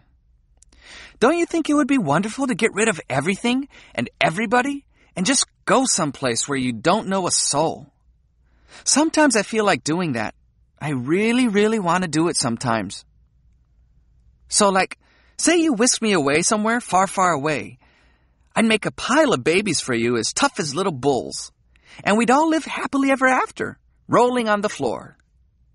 I laughed and drank down my third vodka and tonic. I guess you don't really want a pile of babies as tough as little bulls yet, said Midori. I'm tremendously interested, I said. I'd like to see what they look like. That's okay, you don't have to want them, said Midori, eating a pistachio. Here I am, drinking in the afternoon, saying whatever pops into my head. I want to dump everything and run off somewhere. What's the point of going to Uruguay? All they've got there is donkey shit. Donkey shit everywhere. You may be right. Here is shit, there is shit. The whole world is donkey shit. Hey, I can't open this. You take it. Midori handed me a pistachio with an uncracked shell. I struggled with it until I got it open. But oh, gee, what a relief it was last Sunday. Going up to the laundry deck with you, watching the fire, drinking beer, singing songs. I don't know how long it's been since I had such a total sense of relief. People are always trying to force stuff on me. The minute they see me, they start telling me what to do. At least you don't try to force stuff on me. I don't know you well enough to force stuff on you. You mean if you knew me better, you'd force stuff on me like everybody else? It's possible, I said. That's how people live in the real world, forcing stuff on each other. You wouldn't do that. I can tell. I'm an expert when it comes to forcing stuff and having stuff forced on you. You're just not that type. That's why I can relax with you. Do you have any idea how many people there are in the world who like to force stuff on people and have stuff forced on them? Tons. And then they make a big fuss like, I forced her. You forced me. That's what they like. But I don't like it. I just do it because I have to. What kind of stuff do you force on people or do they force on you? Midori put a piece of ice in her mouth and sucked on it for a while. Do you want to get to know me better? She asked. Yeah, kind of. Hey, look. I just asked you, do you want to get to know me better? What the hell kind of answer is that? Yes, Midori, I would like to get to know you better, I said. Really? Yes, really. Even if you had to turn your eyes away from what you saw? Are you that bad? Well, in a way. Midori said with a frown. I want another drink. I called the waiter and ordered a fourth round of drinks. Until they came, Midori cupped her chin in her hand with her elbow on the bar. I kept quiet and listened to Thelonious Monk playing Honeysuckle Rose. There were five or six other customers in the place, but we were the only ones drinking alcohol. The rich smell of coffee gave the gloomy interior an intimate atmosphere. Are you free this Sunday? Midori asked. I think I told you before I'm always free on Sunday, until I go to work at 6. Okay then. This Sunday, will you hang out with me? Sure, I said. I'll pick you up at your dorm Sunday morning. I'm not sure exactly what time, though. Is that okay? Fine, I said. No problem. Now, let me ask you. Do you have any idea what I would like to do right now? I can't imagine. Well, first of all, I want to lie down on a big, wide, fluffy bed. I want to get all comfy and drunk and not have any donkey shit anywhere nearby. And I want to have you lying down next to me. And then, little by little, you take my clothes off. So tenderly.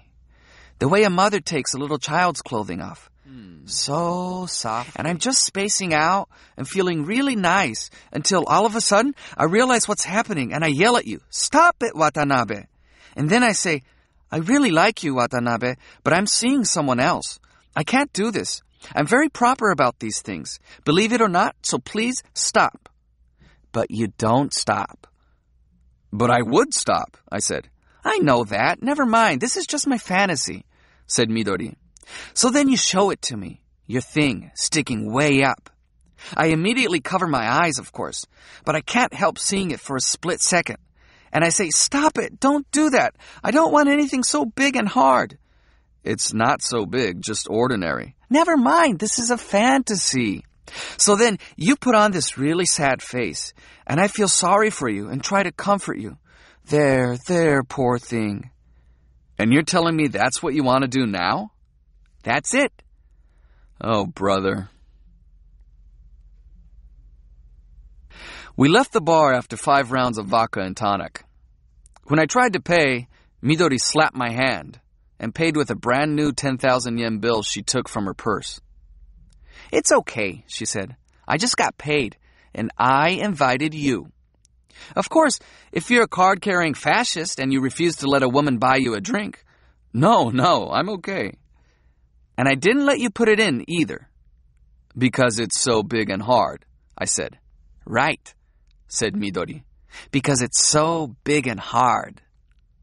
A little drunk, Midori missed one step, and we almost fell back down the stairs. The layer of clouds that had darkened the sky before was gone now, and the late afternoon sun poured its gentle light on the city streets. Midori and I strolled those streets for a time. Midori said she wanted to climb a tree, but unfortunately there were no climbable trees in Shinjuku, and the Shinjuku Imperial Gardens were closing. Too bad, said Midori. I love to climb trees.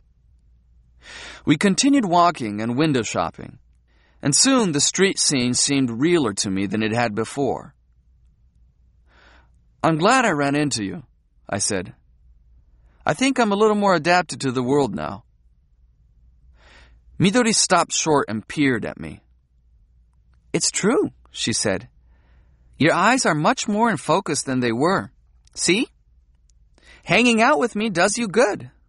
No doubt about it, I said. At 5:30, Midori said she had to go home and make dinner. I said I would take a bus back to my dorm, and I saw her as far as the station. Know what I want to do now? Midori asked me as she was leaving. I have absolutely no idea what you could be I thinking. you and me to be captured by pirates. Then they strip us and press us together face to face, all naked, and wind these ropes around us. Why would they do a thing like that? Perverted pirates, she said. You're the perverted one, I said. So then they lock us in the hold and say, In one hour, we're going to throw you into the sea, so have a good time until then. And? And so we enjoy ourselves for an hour, rolling all over the place and twisting our bodies. And that's the main thing you want to do now? That's it. Oh, brother, I said, shaking my head. Midori came to pick me up at 9:30 on Sunday morning. I had just awakened and hadn't washed my face yet. Somebody pounded on my door and yelled, "Hey, Watanabe, it's a woman." I went down to the lobby to find Midori wearing an incredibly short jean skirt and sitting there with her legs crossed, yawning. Every guy passing through on his way to breakfast slowed down to stare at her long, slim legs. She did have really nice legs. Am I too early? She asked. I bet you just woke up. Can you give me 15 minutes? I'll wash my face and shave. I don't mind waiting, but all these guys are staring at my legs. What'd you expect, coming into a men's dorm in such a short skirt? Of course they're going to stare at you. Oh, well, it's okay. I'm wearing really cute panties today, all pink and frilly and lacy. That just makes it worse, I said with a sigh. I went back to my room and washed and shaved as fast as I could. Put on a blue button down shirt and a gray tweed sports coat. Then went back down and hurried Midori out through the dorm gate. I was in a cold sweat. Tell me, Watanabe, Midori said, looking up at the dorm buildings. do all the guys in here masturbate? Rub a dub dub? Probably, I said. Do guys think about girls when they do that? I guess so. I kind of doubt that anybody thinks about the stock market or verb conjugations or the Suez Canal when they masturbate. Nah, I'm pretty sure just about everybody thinks about girls. The Suez Canal? For example, I mean. So I guess they think about particular girls, right? Shouldn't you be asking your boyfriend about that? I said. Why should I have to explain stuff like that to you on a Sunday morning? I was just curious, she said. Besides, he'd get mad if I asked him about stuff like that. He'd say girls aren't supposed to ask all those questions. A perfectly normal point of view, I'd say. But I want to know. This is pure curiosity. Do guys think about particular girls when they masturbate? I gave up trying to avoid the question. Well, I do at least. I don't know about anybody else. Have you ever thought about me when you were doing it? Tell me the truth. I won't get mad. No, I haven't, to tell you the truth. I answered honestly. Why not? Aren't I attractive enough? Oh, you're plenty attractive, all right. Your cute and sexy outfits look good on you. Well, first of all, I think of you as a friend, so I don't want to get you involved in my sexual fantasies. And second, You've got somebody else you're supposed to be thinking about. that's about the size of it, I said. You have good manners, even when it comes to something like this. Midori said. That's what I like about you. Still, couldn't you allow me just one brief appearance? I want to be in one of your sexual fantasies or daydreams or whatever you call them. I'm asking you because we're friends. Who else can I ask for something like that? I can't just walk up to anyone and say, when you masturbate tonight, will you please think of me for a second? It's because I think of you as a friend that I'm asking. And I want you to tell me later what it was like. You know, what you did and stuff. I let out a sigh. You can't put it in though, because we're just friends, right? As long as you don't put it in, you can do anything you like. Think anything you want. I don't know. I've never done it with so many restrictions before, I said. Will you just think about me? All right, I'll think about you. You know, Watanabe? I don't want you to get the wrong impression that I'm a nymphomaniac or frustrated or a tease or anything. I'm just interested in that stuff. I want to know about it. I grew up surrounded by nothing but girls in a girls' school. You know that. I want to find out what guys are thinking and how their bodies are put together. And not just from pull out sections in the women's magazines, but in actual case studies. Case studies? I groaned. But my boyfriend doesn't like it when I want to know things or try things. He gets mad, calls me a nympho or crazy. He won't even let me give him a blowjob. Now that's one thing I'm dying to study. Uh huh. Do you hate getting blowjobs? No, not really. I don't hate it. Would you say you like it? Yeah, I'd say that. But can we talk about this next time? Here it is, a really nice Sunday morning, and I don't want to ruin it talking about masturbation and blowjobs. Let's talk about something else. Is your boyfriend in the same university with us? Nope. He goes to another one, of course. We met in high school during a club activity. I was in a girls' school and he was in a boys' school. And you know how they do those things joint concerts and stuff. We got serious after graduation, though. Hey, Watanabe. What? You only have to do it once. Just think about me, okay? Okay. I'll give it a try next time, I said, throwing in the towel.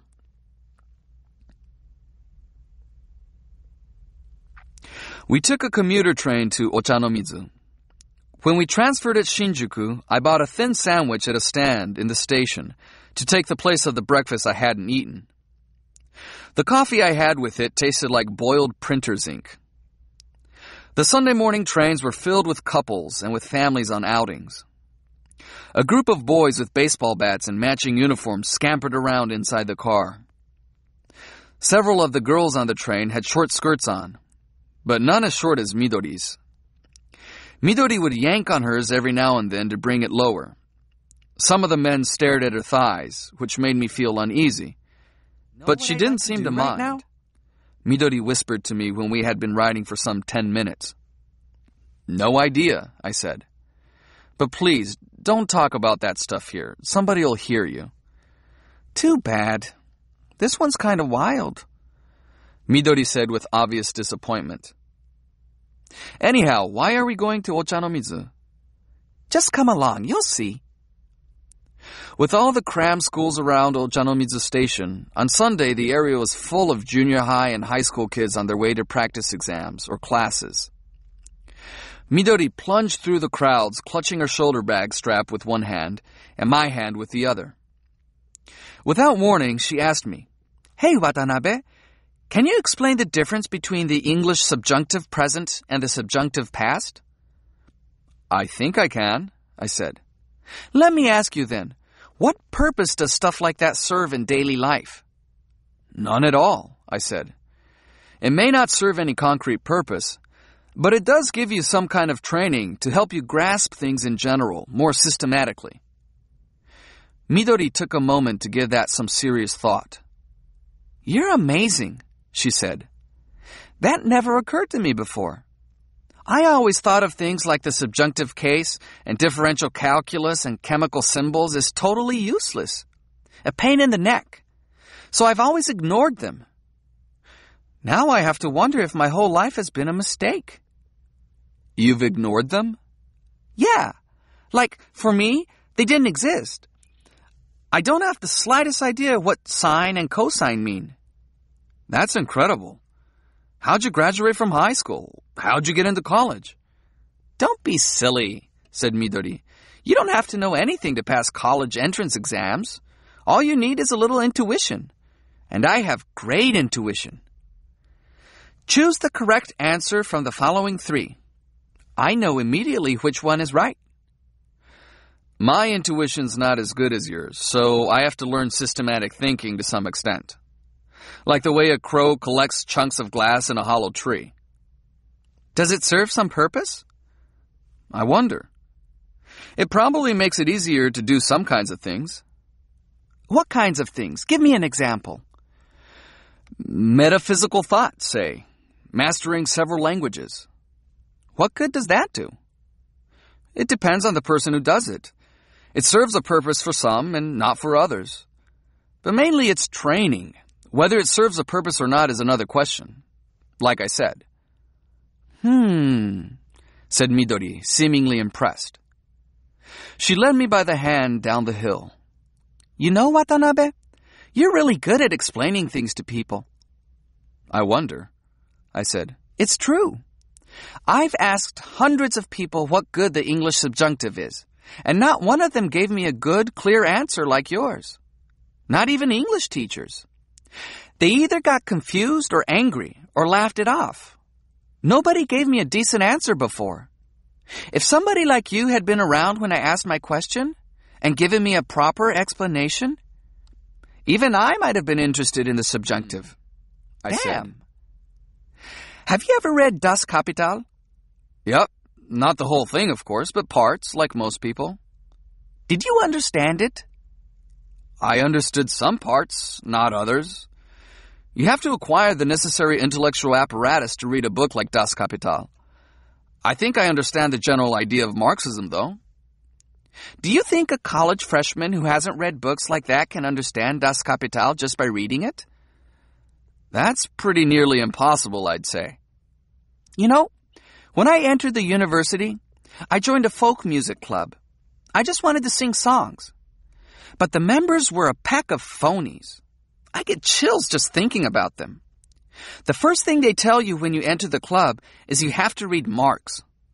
Prepare page so and so to such and such for next time.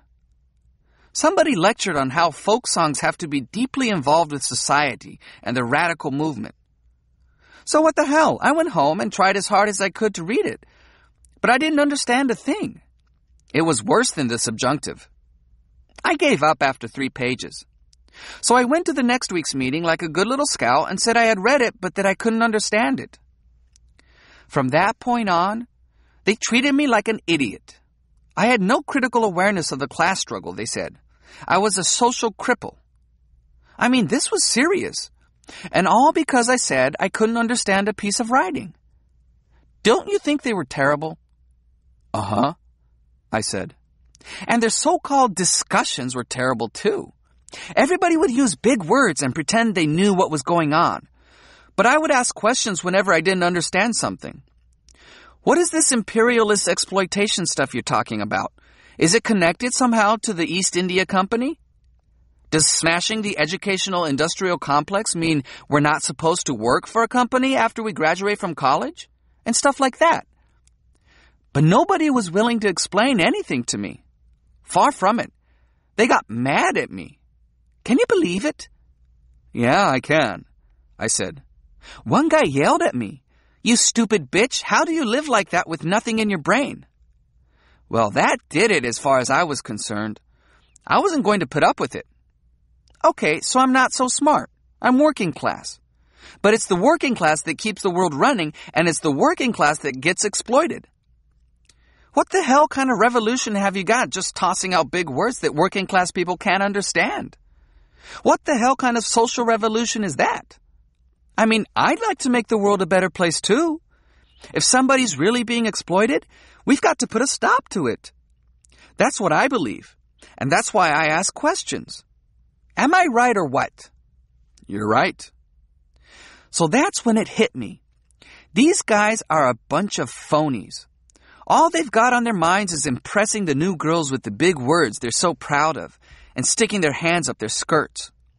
And when they're seniors, they cut their hair short and go trooping to work for Mitsubishi or IBM or Fujibank. They marry pretty wives who've never read Marx and have kids they give fancy new names to that are enough to make you puke. Smash what educational industrial complex? Don't make me laugh. And the new members were just as bad. They didn't understand a thing either, but they'd made believe they did, and they were laughing at me. After the meeting, they told me, Don't be silly. So what if you don't understand? Just agree with everything they say. Hey, Watanabe, I've got stuff that made me even madder than that. Want to hear? One time, Sure. they not? called a late night political meeting, and they told the girls to make 20 rice balls each for midnight snacks. I mean, talk about sex discrimination. I decided to keep quiet for a change, though, and showed up like a good girl with my 20 rice balls, complete with umeboshi inside and nori outside. And what do you think I got for my efforts? Afterward, people complained because my rice balls had only umeboshi inside, and I hadn't brought along anything to go with them. The other girls stuffed theirs with cod roe and salmon, and they included nice, thick slices of fried egg. I got so mad I couldn't talk. Where the hell did these revolution mongers get off making a fuss over rice balls? They should be grateful for umeboshi and nori. Think about the children starving in India. I laughed. So then what happened with your club? I quit in June. I was so damn mad, Midori said. Most of these university types are total phonies. They're scared to death somebody's going to find out they don't know something. They all read the same books and they all throw around the same words. And they get off listening to John Coltrane and seeing Pasolini movies. You call that revolution? Hey, don't ask me. I've never actually seen a revolution. Well, if that's revolution, you can have it. They'd probably shoot me for putting umeboshi in my rice balls. They'd shoot you too for understanding the subjunctive. It could happen. Believe me, I know what I'm talking about. I'm working class. Revolution or no, the working class is going to have to keep scraping by in the same old shitholes. And what is a revolution? It sure as hell isn't just changing the name on City Hall. But those guys don't know that. Those guys with their big words. Tell me, Watanabe, have you ever seen a tax man? Never have. Well, I have. Lots of times. They come barging in and acting big. What's this ledger for? Hey, you keep pretty sloppy records. You call this a business expense? I want to see all your receipts right now. Meanwhile, we're crouching in the corner. And when supper time comes, we've got to treat them to sushi deluxe, home delivered. Let me tell you though, my father never once cheated on his taxes. That's just how he is, a real old fashioned straight arrow. But tell that to the tax man. All he can do is dig and dig and dig and dig. Income's a little low here, don't you think? Well, of course the income's low when you're not making any money. I wanted to scream, go do this where they've got some money. Do you think the taxman's attitude would change if there was a revolution? Highly doubtful. Highly doubtful. That does it for me then. I'm not going to believe in any damned revolution. Love is all I'm going to believe in. Peace, I said. Say, Peace, where are we headed? I asked. The hospital, she said. My father's there. It's my turn to stay with him all day. Your father? I thought he was in Uruguay. That was a lie, said Midori as if it was nothing at all. He's been screaming about going to Uruguay forever. But he could never do that. He can hardly get himself out of Tokyo. How bad is he? I asked. It's just a matter of time, she said. We moved several paces ahead without a word. I know what I'm talking about. It's the same thing my mother had a brain tumor. Can you believe it? It's hardly been two years since a brain tumor killed her. And now he's got one. The university hospital corridors were noisy and crowded with weekend visitors and patients who had less serious symptoms. And everywhere hung that special hospital smell a cloud of disinfectant and visitors' bouquets and urine and mattresses, through which nurses surged back and forth with a dry clattering of heels. Midori's father was in a semi private room, in the bed nearer the door. Stretched out, he looked like some tiny creature with a fatal wound. He lay on his side, limp, the drooping left arm inert, jabbed with an intravenous needle. He was a skinny, little man who gave the impression that he would get only skinnier and littler. A white bandage encircled his head, and his pasty white arms were dotted with the wounds left by injections or intravenous feedings. His half open eyes stared at a fixed point in space, but the bloodshot spheres twitched in our direction when we entered the room. For some ten seconds, they stayed focused on us, then drifted back to that fixed point in space. He was going to die soon. You knew when you saw those eyes. There was no sign of life in his flesh, just the barest traces of what had once been a life. His body was like a dilapidated old house from which all furniture and fixtures have been removed, and which awaited now only its final demolition. Around the dry lips sprouted clumps of whiskers like so many weeds. So, I thought, even after so much of his life force had been lost, a man's beard continued to grow. Midori said hello to the ample fleshed man in the bed by the window. He nodded and smiled, apparently unable to talk. He coughed a few times, and after sipping some water from a glass by his pillow, he shifted his weight in bed and rolled on his side, turning his gaze out the window. Beyond the window could be seen only a utility pole and some power lines. Nothing more. Not even a cloud in the How sky. Are you feeling, Daddy? said Midori, speaking into her father's ear as if testing a microphone. How are you today? Her father moved his lips. Not good, he said, not so much speaking the words as forming them from dried air at the back of his throat.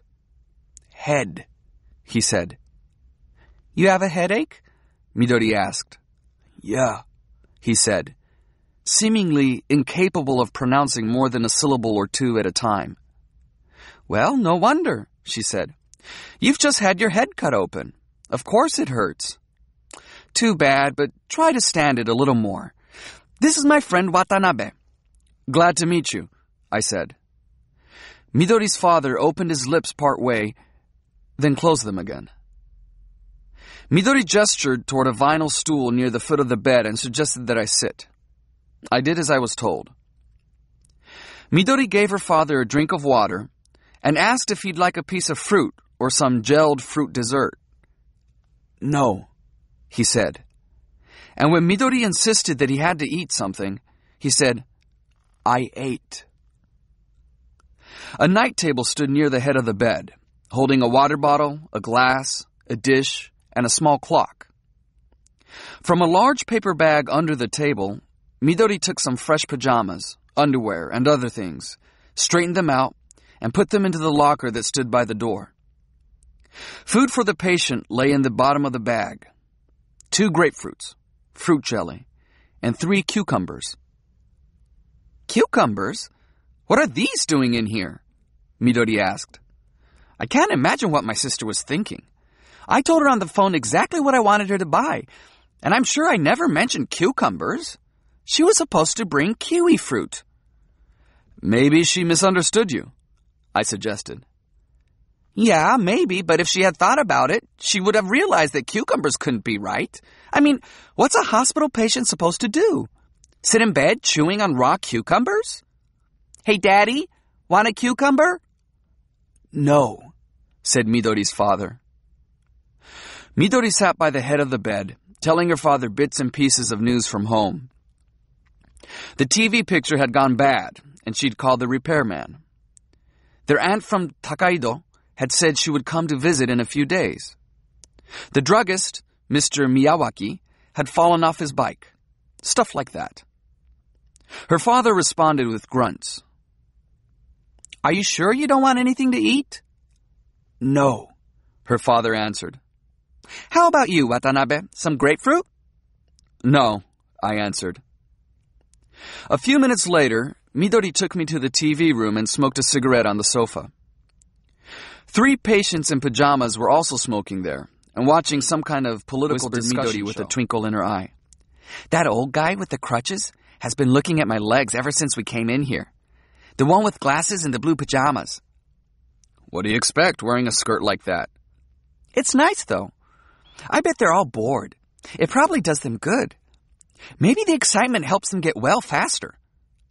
As long as it doesn't have the opposite effect, I suppose. Midori stared at the smoke rising straight up from her cigarette. You know, she said, my father's not such a bad guy. I get mad at him sometimes because he says terrible things, but deep down, he's honest, and he really loved my mother. In his own way, he's lived life with all the intensity he could muster. He's a little weak, maybe, and he has absolutely no head for business, and people don't like him very much. But he's a hell of a lot better than the cheats and liars who go around smoothing things over because they're so slick. I'm as bad as he is about not backing down once I've said something. So we fight a lot. But really, he's not a bad guy. Midori took my hand, as if she were picking up something someone had dropped in the street, and placed it on her lap. Half my hand lay atop the cloth of her skirt, while the other half was touching her thigh. She looked into my eyes for a while. Sorry to bring you to a place like this, she said. But would you mind staying with me a little longer? I'll stay with you all day if you want, I said, until five. I like spending time with you, and I've got nothing else to do. How do you usually spend your Sundays? Doing laundry, I said, and ironing. I guess you don't want to tell me too much about her. Your girlfriend? No, I guess not. It's complicated, and I kind of don't think I could explain it very well. That's okay. You don't have to explain anything, said Midori. But do you mind if I tell you what I imagine is going on? No, go ahead. I suspect anything you'd imagine would have to be interesting. I think she's a married woman. You do? Yeah. She's 32 or 3, and she's rich and beautiful. And she wears fur coats and Charles Jourdan shoes and silk underwear. And she's hungry for sex, and she likes to do really yucky things. The two of you meet on weekday afternoons and devour each other's bodies. But her husband's home on Sundays, so she can't see you. Am I right? Very, very interesting. She has you tie her up and blindfold her and lick every square inch of her body. Then she makes you put weird things inside her and she gets into these incredible positions like a contortionist. And you take pictures of her with a Polaroid camera. She's dying for Sounds it all the like time. fun. So she does everything she can think of. And she thinks about it every day. She's got nothing but free time, so she's always planning. Hmm, next time Watanabe comes, we'll do this or we'll do that. You get in bed and she goes crazy, trying all these positions and coming three times in every one. And she says to you, Don't I have a sensational body? You can't be satisfied with young girls anymore. Young girls won't do this for you, will they? Or this. Feel good? But don't come yet. You've been seeing too many porno flicks, I said with a laugh. You think so? I was kind of worried about that. But I love porno flicks. Take me to one next time, okay? Fine, I said. Next time you're free. Really? I can hardly wait. Let's go to a real S&M one with whips and like they make the girl pee in front of everybody. That's my favorite. We'll do it. You know what I like best about porno theaters? I couldn't begin to guess. Whenever a sex scene starts, you can hear this gulp sound when everybody swallows all at once, said Midori. I love that gulp. It's so sweet.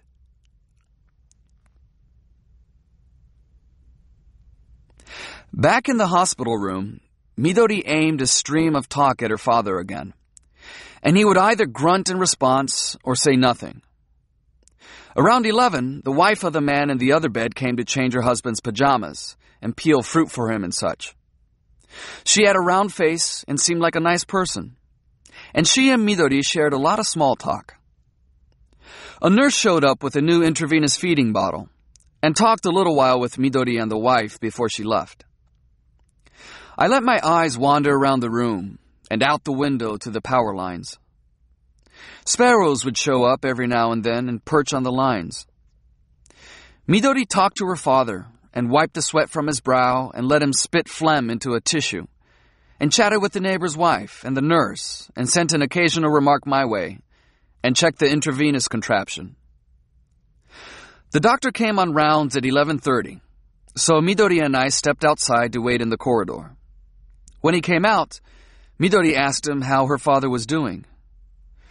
Well, he's just come out of surgery, and we've got him on painkillers, so, well, he's pretty drained, said the doctor. I'll need another two or three days to evaluate the results of the operation. If it went well, he'll be okay. And if it didn't, we'll have to make some decisions at that point. You're not going to open his head up again, are you? I really can't say until the time comes, said the doctor. Wow, that's some short skirt you're wearing. Nice, huh? What do you do on stairways? The doctor asked. Nothing special. I let it all hang out, said Midori. The nurse chuckled behind the doctor. Incredible. You ought to come and let us open your head one of these days to see what's going on in there. Do me a favor and use the elevators while you're in the hospital. I can't afford to have any more patients. I'm way too busy as it is. The doctor's rounds, it was lunchtime. A nurse pushing a cart loaded with meals was circulating from room to room. Midori's father was given potage, fruit, boiled deboned fish, and vegetables that had been ground into some kind of jelly. Midori turned him on his back and raised him up using the crank at the foot of the bed. She fed him the soup with a spoon. After five or six swallows, he turned his face aside and said, No more. You've got to eat at least this much, Midori said. Later, he said. You're hopeless. If you don't eat properly, you'll never get your strength back, she said. Don't you have to pee yet? No, he said. Hey, Watanabe, let's go down to the cafeteria. I agreed to go, but in fact, I didn't feel much like eating. The cafeteria was crammed with doctors and nurses and visitors. Long lines of chairs and tables filled the huge, windowless underground cavern where every mouth seemed to be eating and talking. About sickness, no doubt. The voices echoing and re echoing as in a tunnel. Now and then, the PA system would break through the reverberation with calls for a doctor or nurse. While I laid claim to a table, Midori bought two set meals and carried them over on an aluminum tray. Croquettes with cream sauce, potato salad, shredded cabbage, boiled vegetables, rice, and miso soup. These were lined up in the tray in the same white plastic dishes they use for patients. I ate about half of mine and left the rest. Midori seemed to enjoy her meal to the last mouthful. You're not too hungry? she asked, sipping hot tea. Not really, I said.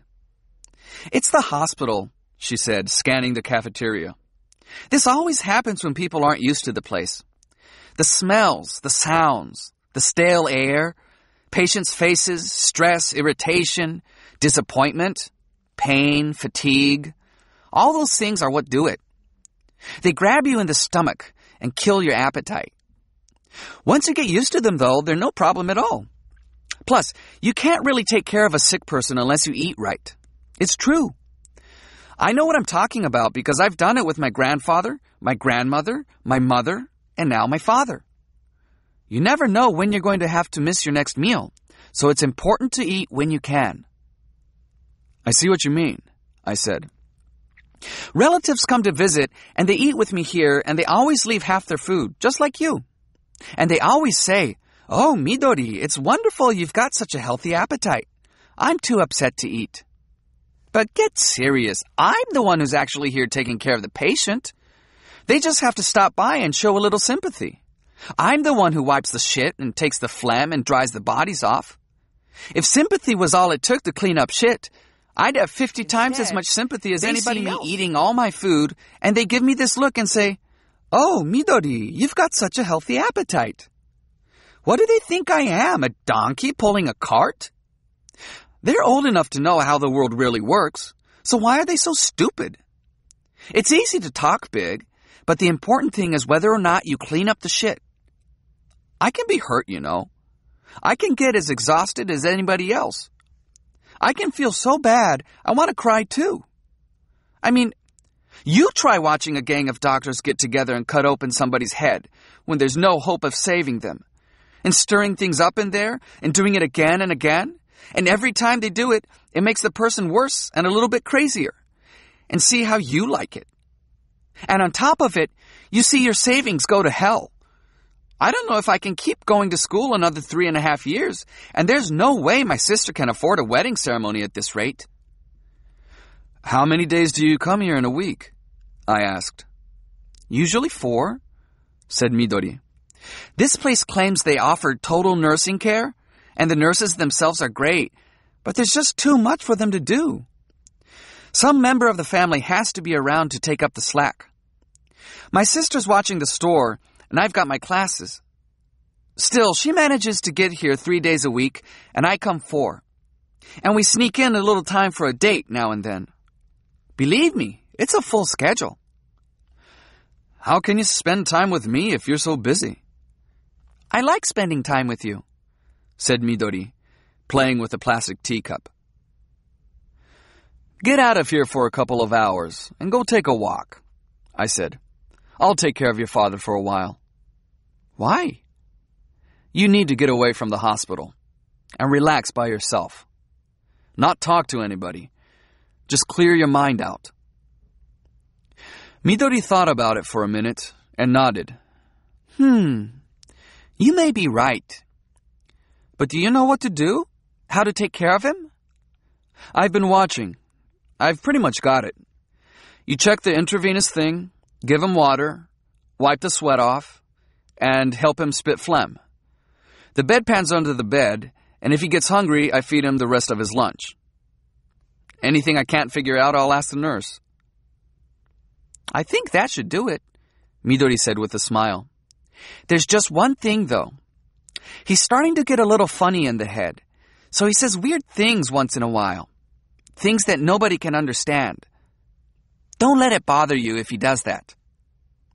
I'll be fine, I said.